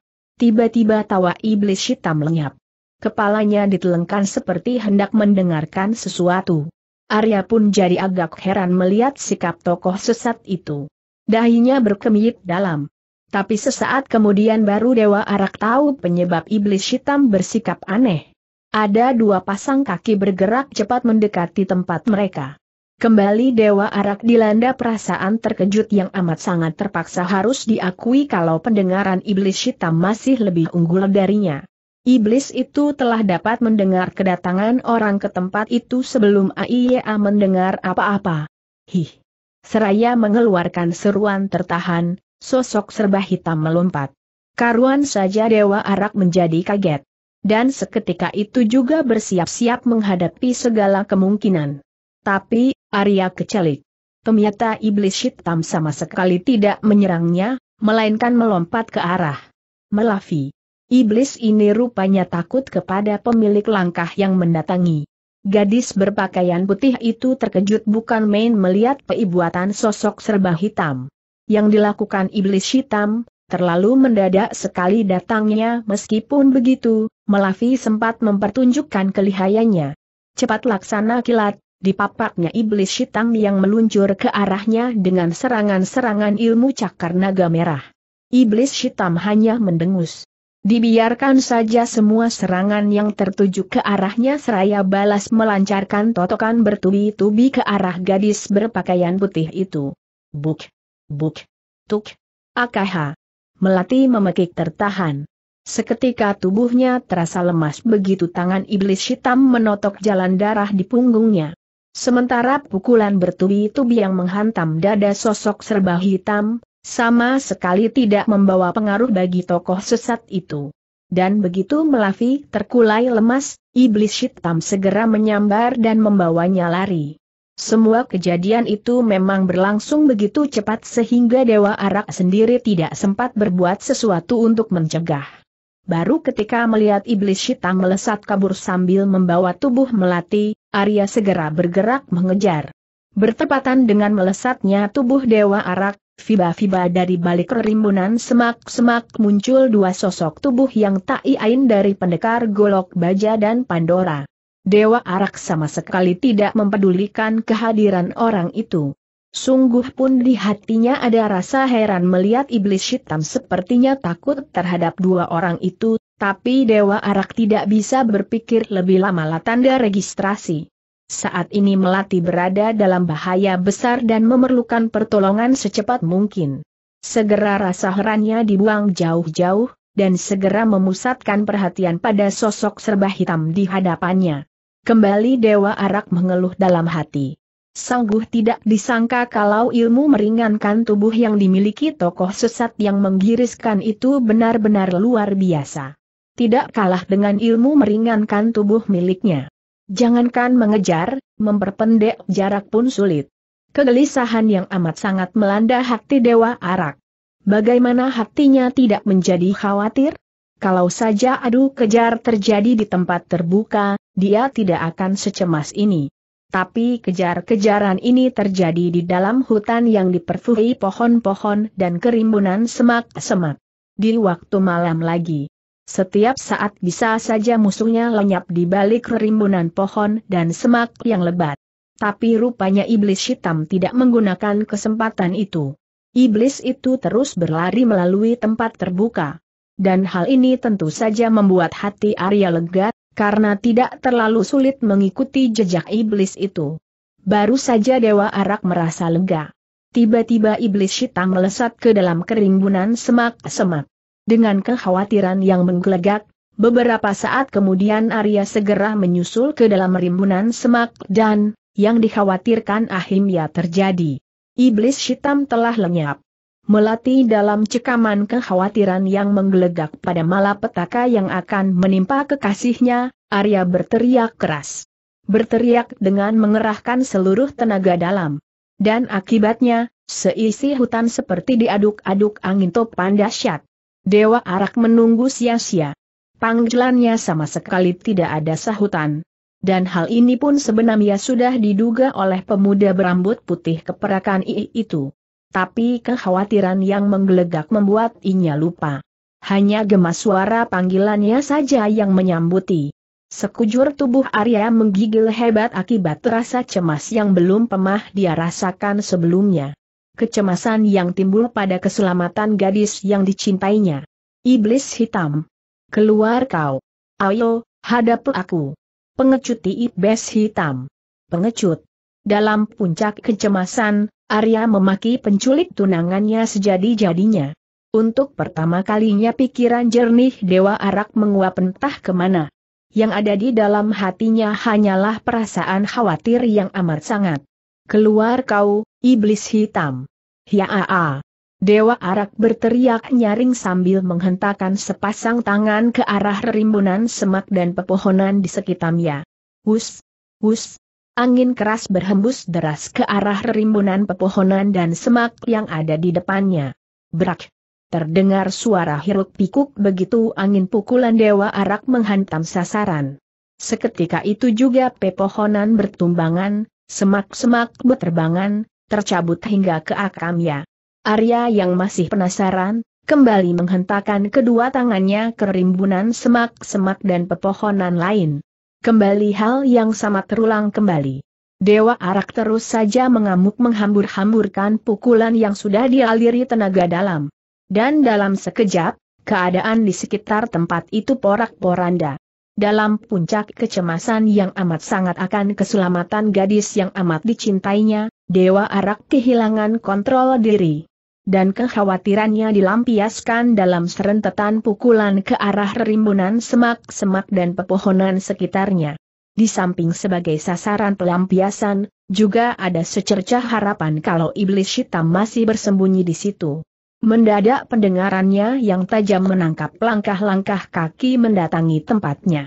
Ada dua orang yang menuju ke arahnya. Secepat kilat Dewa Arak menoleh ke arah asal suara. Siapa tahu iblis hitam yang datang. Walaupun sebenarnya harapan itu kecil sekali. Rasanya tak mungkin kalau iblis itu mempunyai langkah kaki yang begitu berat. Memang benar. Yang datang bukan iblis hitam, melainkan pendekar golok baja dan Pandora. Sepasang alis pendekar golok baja berkerut melihat keadaan hutan. Seketika timbul kembali semangat Dewa Arak begitu melihat kehadiran Pandora dan pendekar golok baja pemuda berambut putih keperakan ini tahu kalau majikan Pandora ini adalah keturunan langsung iblis hitam. Siapa kau, anak muda? Dan, kaukah yang melakukan semua ini tanya pendekar golok baja nada suaranya penuh teguran. Sepasang matanya menatap wajah pemuda di hadapannya penuh rasa ingin tahu. Jelas ada sesuatu yang menarik perhatian ia laki gagah ini. Dewa Arak tidak langsung menjawab pertanyaan pendekar golok naja. Meskipun kini dadanya sudah terasa agak lega setelah melampiaskan kekhawatiran pada pepohonan dan semak-semak di sekitarnya. Tapi tak urung Arya masih menyempatkan diri menarik napas dalam-dalam, lalu menghembuskannya kuat-kuat untuk menenangkan hati dan memang, usaha yang dilakukannya membuahkan hasil. Hatinya kembali tenang. Aku Arya. Dan, aku terpaksa melakukan semua ini agar iblis hitam keluar dari tempat persembunyiannya. Berubah wajah pendekar golok baja mendengar ucapan Dewa Arak. Arya? Apakah lengkapmu Arya Buana kembali Praja Sena bertanya. Sementara pandang matanya semakin lekat tertuju ke sekujur tubuh pemuda di hadapannya. Memang, sebagai pendekar besar yang telah malang melintang di dunia persilatan, pendekar golok baja telah mendengar kabar angin tentang seorang tokoh muda yang menggempatkan dunia persilatan. Pendekar muda itu bernama Arya Buana dan berjuluk Dewa Arak. Begitulah nama yang diberikan orang tuaku. Kalau begitu, kaukah tokoh yang telah menggemparkan dunia persilatan? Kaukah tokoh yang berjuluk Dewa Arak? Ah, Cerita kosong itu terlalu berlebih-lebihan, sahut Tarya merendah. Sama sekali tidak, Dewa Arak. Bukti kehebatanmu telah kulihat sendiri, bantah Praja Senasraya memandang berkeliling ke arah semak-semak dan pepohonan yang porak-poranda di sana-sini. Aku Praja Sena. Orang-orang persilatan menjulukiku pendekar golok naja. Aku mohon, panggillah aku dengan nama pemberian orang tuaku risih rasanya mendengar orang seperti kau memanggilku seperti itu, Paman, pinta Dewa Arak. Baiklah, Arya, Prajasena mengalah. Sekarang, ceritakan padaku. Mengapa kau mencari iblis hitam? Hahaha. Dewa Arak menghela napas berat. Pertanyaan pendekar golok baja membuatnya teringat kembali keadaan melati. Seketika itu juga kekhawatirannya timbul kembali. Iblis hitam telah menculik teman wanitaku, jawab Dewa Arak separuh benar, separuhnya lagi dusta. Sebab Melati bukan hanya sekadar kawan, melainkan tunangannya. Ah! Terdengar seruan terkejut dari mulut Pandora. Karuan saja seruan itu membuat Dewa Arak mengalihkan perhatian ke arahnya. Mengapa, Paman tanya Dewa Arak seraya minatap kakek berwajah bintik-bintik putih itu tajam-tajam. Bahaya sekali, Arya, hanya itu yang diucapkan Pandora. Kakek ini memang tahu kebiasaan iblis hitam turun-temurun. Kekhawatiran Dewa Arak pun semakin menjadi-jadi mendengar ucapan pelayan setiap pendekar golok baja itu. Tenangkan hatimu, Arya, pendekar golok baja ikut buka suara. Percayalah padaku. Untuk malam ini kawan wanitamu pasti selamat. Akan kuingat kata-katamu, pendekar golok baja. Aku tahu hubunganmu dengan iblis hitam. Kau tahu tanda seru pendekar golok baja setengah tidak percaya. Aku dan teman wanitaku telah mendengar pembicaraanmu di halaman perguruan cakar harimau, pendekar golok baja. Tapi, aku mohon, kau bersedia menjelaskan agar hatiku jadi tenang. Mengapa kau begitu yakin kalau kawan wanitaku pasti selamat malam ini? Padahal sudah menjadi rahasia umum kalau kebiasaan leluhurmu pada wanita-wanita muda kurang baik. Yah pendekar golok baja menghela napas pelan. Aku pun menyesali hal itu, Arya. Tapi, perlu kau ketahui, apabila malam ini iblis hitam telah menyelesaikan tugas dengan korban wanitanya.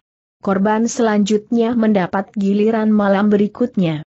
Memang, Pendekar Golok Baja dan Pandora telah melihat mayat seorang wanita yang kelihatannya sebelum dibunuh, diperkosa lebih dulu. Sekali lihat saja, mereka dapat menebak kalau yang melakukan perbuatan keji itu adalah iblis hitam. Kalau begitu, aku hanya punya waktu satu malam saja untuk mengetahui ke mana iblis hitam membawa lari temanku. Pendekar golok baja menganggukkan kepala. Bisakah kau menunjukkan tempatnya padaku, pendekar golok baja pinta dewa arak? Sayang sekali, Aiya. Aku tidak berani mengkhianati leluhurku. Merupakan pantangan besar bagi keturunan iblis hitam untuk menentang orang yang lebih tua. Aku sendiri tidak tahu mengapa tapi, begitulah pesan ayahku. Dan aku harus mematuhinya jadi, maafkan aku, Arya. Aku tidak bisa memberitahukan Rao. Hahaha Dewa Arak menghela napas, bingung. Perasaan cemas pada keselamatan Melati kembali melanda hatinya. Kalau begitu, aku permisi dulu, pendekar golok baja. Setelah berkata demikian, Dewa Arak melesat dari situ meninggalkan pendekar golok baja dan Pandora yang hanya dapat memandang kepergiannya. Dalam waktu sebentar saja bayangan pemuda berambut putih. Keperakan itu telah lenyap di telan kegelapan malam suara kokok ayam hutan dan cicit burung di dahan menyambut riang datangnya mentari. Bola raksasa berwarna merah mulai nampak di ufuk timur ketika Arya masih berada di dalam hutan kecil. Sepasang matanya menatap nyalang merayapi setiap sudut hutan. Meskipun semalaman Dewa Arak tidak tidur, tapi perasaan kantuk yang menyerangnya ditahan sekuat tenaga. Dijelajahinya seluruh penjuru hutan. Tapi, tetap saja jejak iblis hitam tidak berhasil ditemukan. Suaranya sudah mulai serak karena berkali-kali berteriak memanggil nama Melati dan menantang iblis hitam. Arya menggertakkan gigi. Baru sekali inilah pemuda berambut putih keperakan ini merasa tidak berdaya perasaan marah, kecewa, khawatir dan berbagai macam perasaan lain berkecamuk dalam hatinya. Perasaan cemas di hatinya semakin besar seiring dengan hari yang telah semakin siang. Melati, ah, melati, rintih dewa arak lirih. Untuk kesekian kalinya Arya menyebut nama kekasihnya. Dihempaskan tubuhnya di bawah sebatang pohon. Kepalanya tertunduk dalam, sementara kedua tangannya menutupi wajah. Hahaha. Entah untuk yang keberapa puluh kali Dewa Arak menghela napas panjang. Wajahnya ditengadahkan, menatap hamparan langit biru di atas sana tapi mendadak pemuda berambut putih keperakan ini tersentak. Mengapa dia tidak meminta pertolongan gurunya pikir Dewa Arak dengan mata berbinar-binar. Semangat Dewa Arak pun bangkit kembali. Meskipun ada perasaan malu karena meminta bantuan gurunya, tapi ditekannya perasaan itu demi keselamatan Melati. Gadis yang disayanginya melebihi rasa sayang pada dirinya sendiri. Sekarang ini hanya gurunya saja yang dapat menolong. Gurunya banyak memiliki ilmu-ilmu ajaib. Dengan semangat berkobar-kobar, Arya banget dari duduknya. Kemudian menyebut nama gurunya tiga kali, lalu menghentakkan kaki kanannya ke tanah sekali. Derak! Ajaib! Kini di hadapan Dewa Arak telah berdiri seorang kakek berpakaian serba putih. Rambutnya digelung ke atas. Di tangannya tergenggam seuntai tasbek alis, kumis, jenggot, dan cambangnya telah memutih semua. Bahkan panjang jenggotnya pun telah melewati dada. Sekujur tubuh kakek ini seperti bersinar. Terutama sekali wajahnya. Inilah guru AIYA, Ki Gring Langit. Guru seru Arya sambil memberi hormat tanpa berani bertama lama menatap wajah gurunya sepasang matanya tak kuat memandang wajah yang bersinar menyilaukan itu. Ki Gring Langit tersenyum sambil mengusap-usap rambut AIYA yang setengah berlutut di hadapannya. Bangunlah, muridku. Katakanlah, yang membuatmu memanggilku tanya kakek berpakaian seibab putih itu lembut. Aku hanya ingin minta petunjuk guru. Petunjuk? Petunjuk, Aiya suara Kigring Langit tetap lembut. Setiap ucapan yang keluar dari mulutnya, menimbulkan perasaan tenang di hati Arya. Tanpa ragu-ragu Arya segera menceritakan kesulitannya. Begitulah kejadiannya, guru, ucap Aiya menutup ceritanya. Kigring Langit mengangguk-anggukan kepala kemudian memegang tangan kanan Aiya dengan tangan kiri. Sementara tangan kanannya menuding ke samping kanan. Ajaib! Di sebelah kiri Arya terpampang sebuah gua berbentuk tengkorak kepala manusia. Di dalamnya, di sebuah balai-balai bambu, tergolek tubuh seorang wanita cantik jelita berpakaian serba putih. Sementara tak jauh dari situ duduk sosok berselubung dan berpakaian serba hitam. Kau tahu di mana tempat itu? Arya tanya Ki Gering Langit tahu, guru, sahut Aiye Asraya menganggukkan kepala. Dan memang sebenarnya pemuda berambut putih keperakan ini mengetahuinya. Dia sering mendengarnya dari mulut para penduduk sekitar Gunung Jolang, tempat gua tangkorak itu berada. Jadi rupanya iblis hitam membawa melati ke sana. Tempat yang dijauhi para penduduk. Ki Gring Langit pun melepaskan pegangannya. Dan seketika itu juga yang tadi dilihat Arya, kembali lenyap. Kini yang nampak hanyalah rimbunan semak dan pepohonan yang lebat. Aku melihat kekuatan aneh yang dimiliki sosok serba hitam itu, Arya, ucap Ki Gring Langit pelan. Kau tidak akan mampu mengalahkan dia.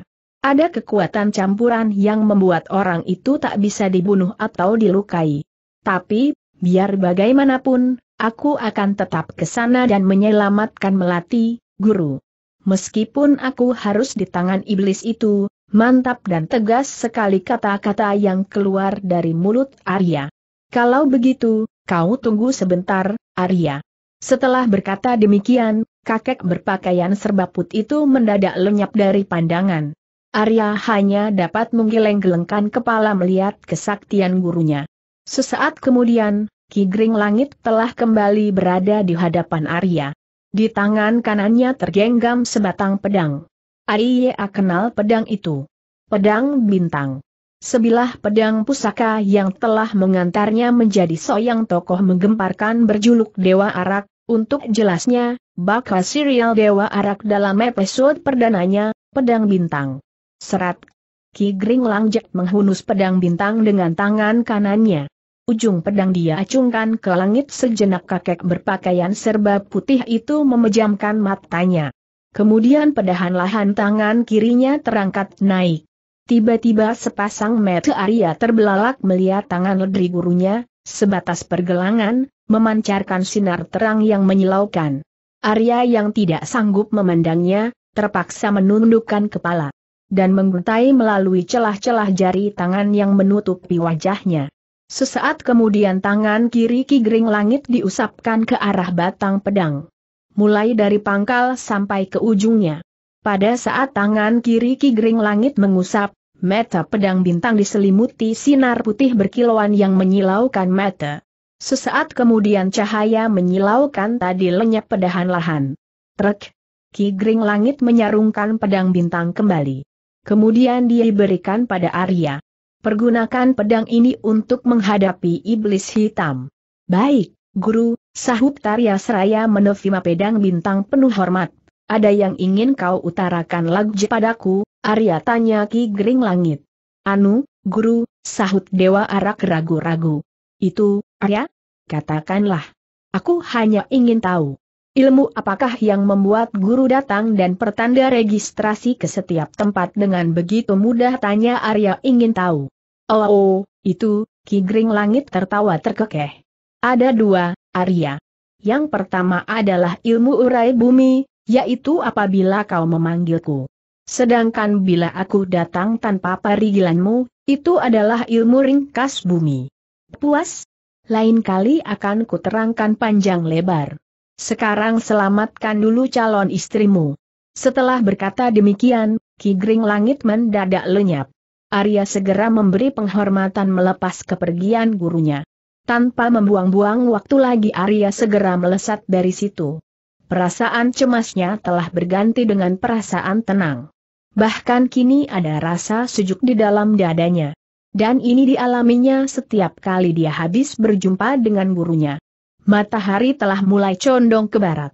Semburat warna lembayung pun telah nampak di lantanda registrasi sebelah barat ketika Dewa Arak tiba di depan gua tempat melati disekap. Baru saja Arya hendak melangkah masuk, tiba-tiba dari dalam melesat sesosok tubuh serba hitam yang memiliki sepasang mata bersinar kehijauan. Siapa tadi kalau bukan iblis hitam? Hahaha iblis hitam tertawa bergelak melihat kedatangan Dewa Arak. Rupanya kawin tanda registrasin ku kirim ke neraka juga, heh. Kita lihat saja, iblis hitam sahut Dewa Arak tak kalah gertak. Siapa di antara kita yang akan pergi ke neraka? Kau atau aku?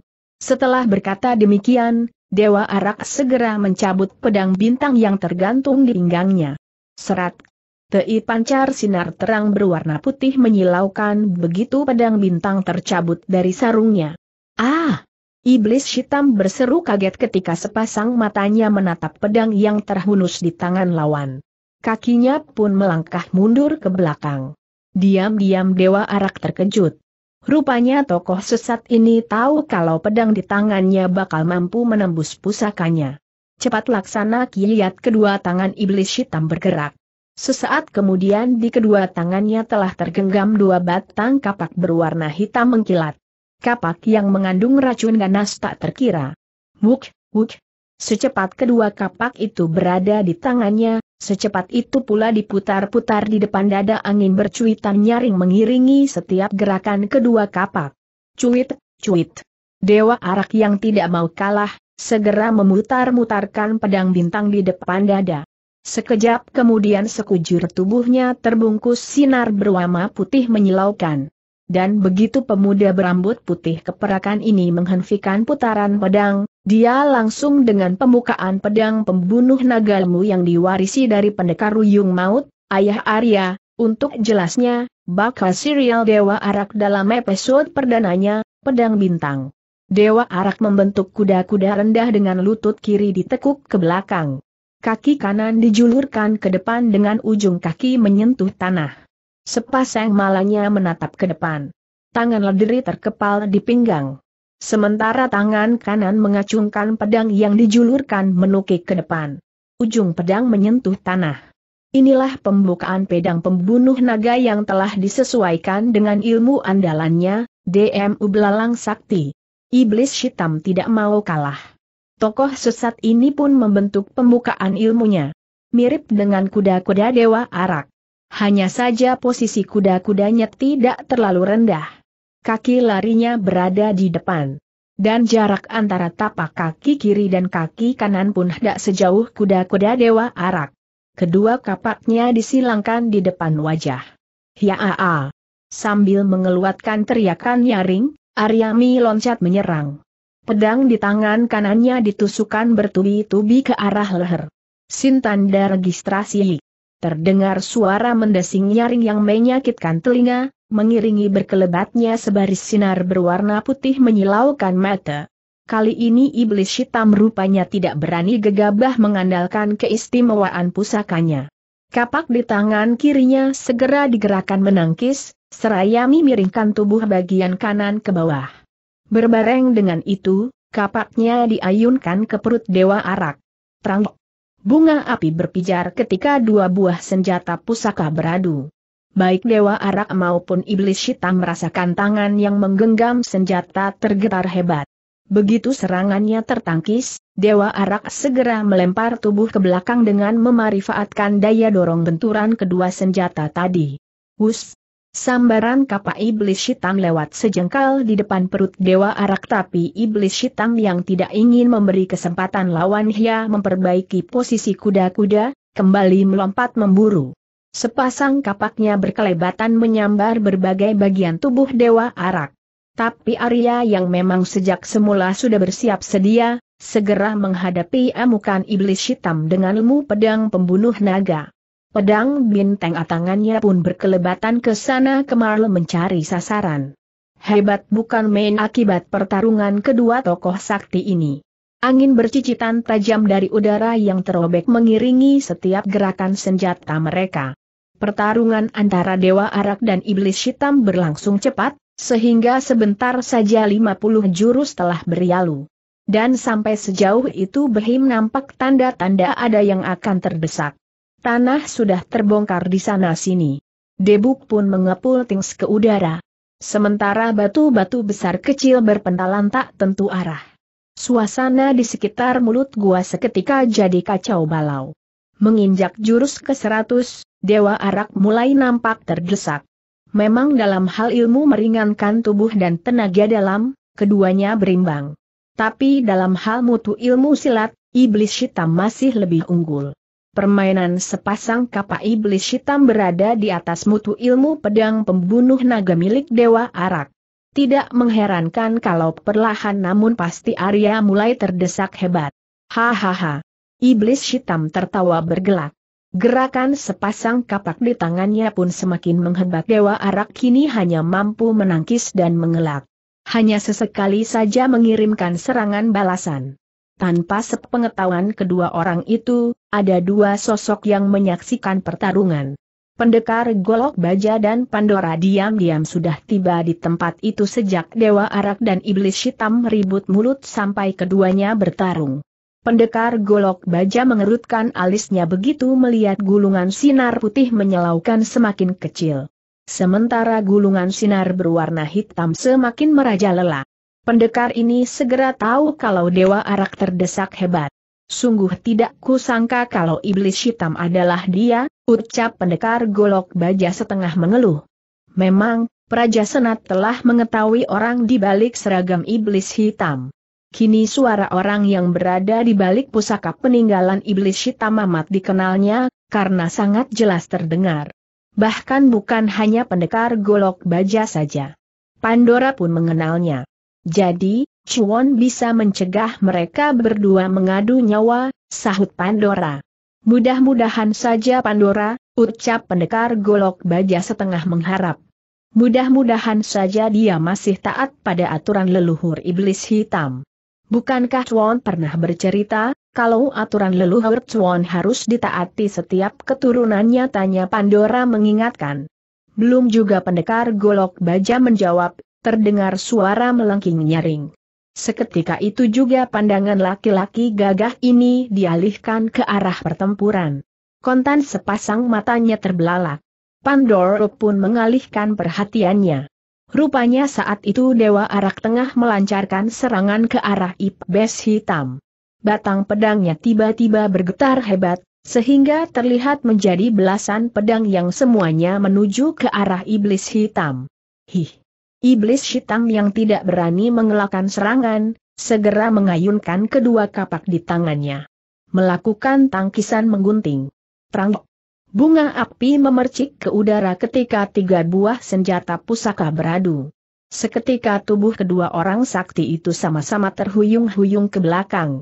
Tapi, secepat itu pula keduanya kembali melancarkan serangan susulan ke arah lawan masing-masing. Cap, serat, peristiwa yang tak jadi berlangsung begitu cepat. Pedang bintang Dewa Arak menusuk bagian atas dada kiri iblis hitam. Sebaliknya, kapak di tangan kanan tokoh sesat itu menyerempet dada Arya.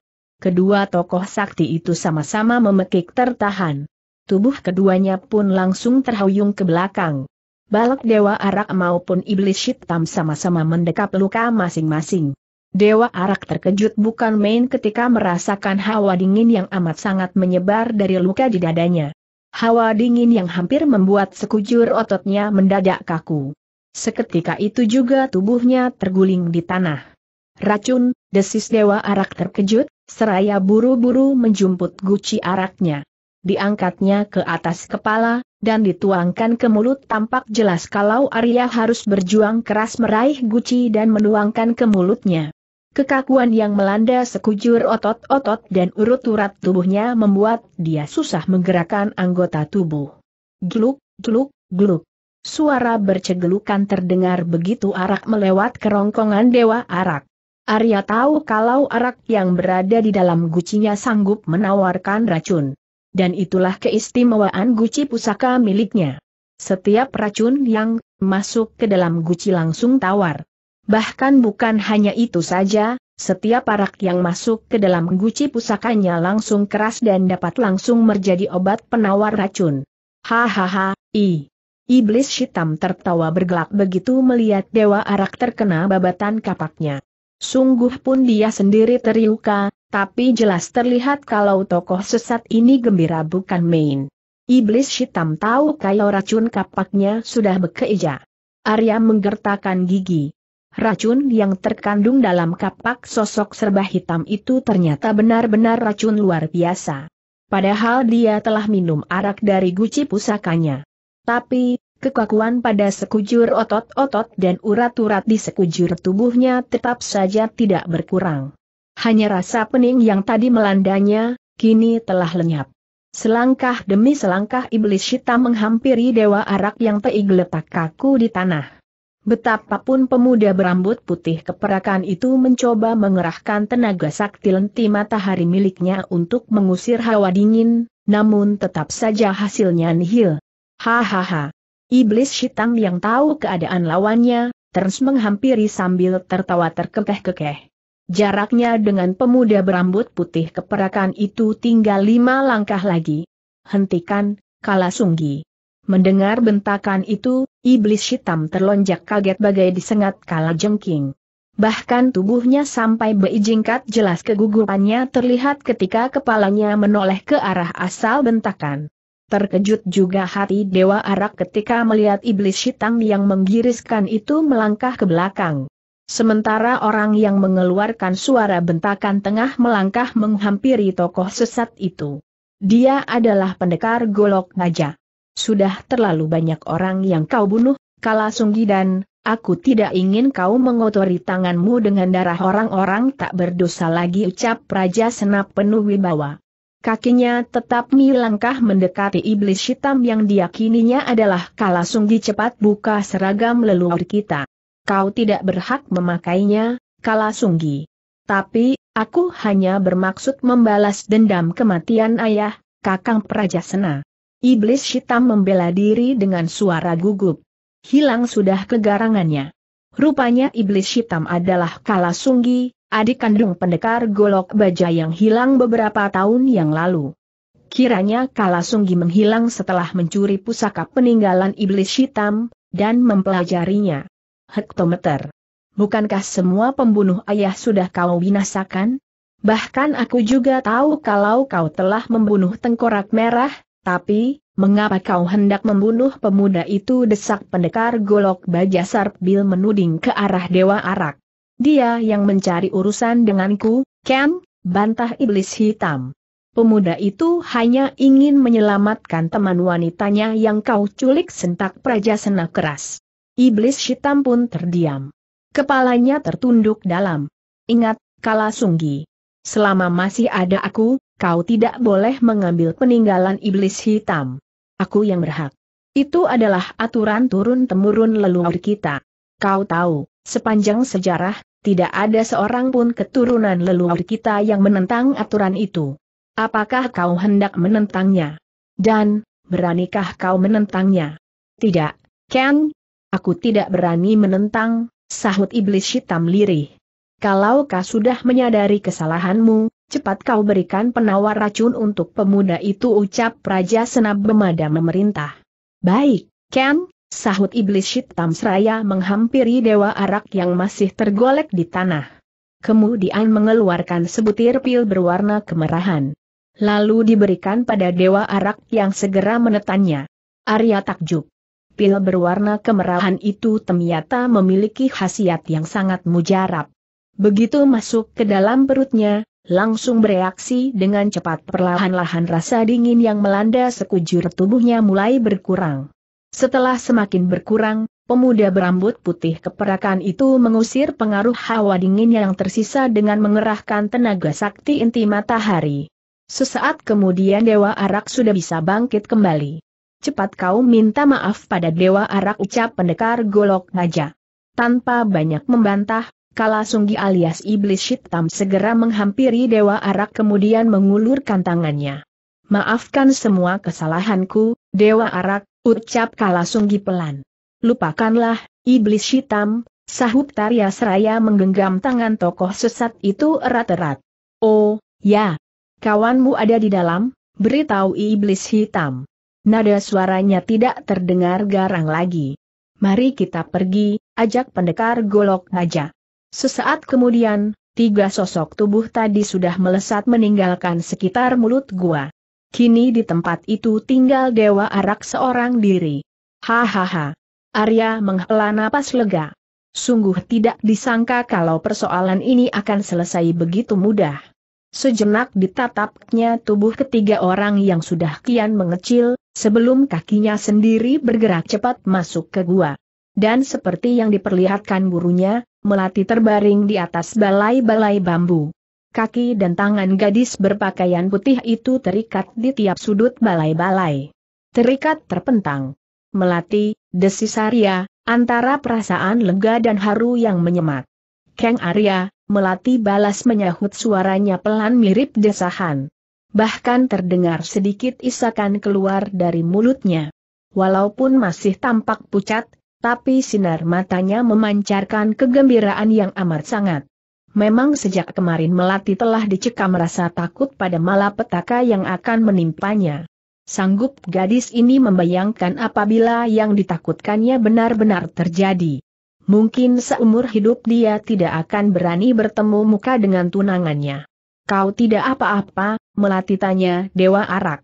Ada nada kekhawatiran yang amat sangat dalam suaranya. Sepasang matanya merayapi sekujur wajah dan tubuh Melavi dengan pandang matu cemas. Sementara tangannya yang menggenggam pedang bintang mengiris tali-tali yang mengikat tangan dan kaki Melati. Tali itu ternyata alot bukan main.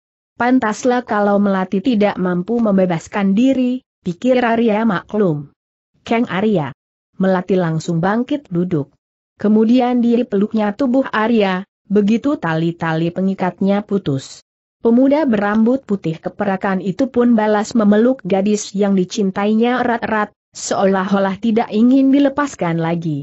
Diusap-usapnya rambut melati yang hitam, panjang dan indah dengan penuh kasih sayang. Untung kau cepat datang, Kang Arya, ucap Melati dengan suara mengandung isak. Untuk pertama kalinya Melati dicekam rasa takut yang hebat. Sepasang matanya berkaca-kaca menahan rasa haru. Lupakanlah, semuanya sudah berlalu, ucap Dewa Arak sambil melepaskan pelukannya pedahan-lahan, kemudian menceritakan semua yang terjadi. Sementara Melati hanya mendengarkan saja. Sedangkan sepasang matanya yang bening dan indah merayapi wajah tampan di depannya. Mari kita tinggalkan tempat ini, sebelum hari menjadi gelap, ajak Arya. Setelah berkata demikian, Dewa Arak pun bangkit dari duduknya seraya menggandeng tangan Melati. Mereka berdua bergegas keluar dari gua. Keadaan di luar gua memang telah mulai gelap. Matahari telah condong ke barat, dan bercak sinar lembayung nampak di kaki langit sebelah barat, ketika Dewa Arak dan Melati bergegas menuruni lereng gunung. Selesai.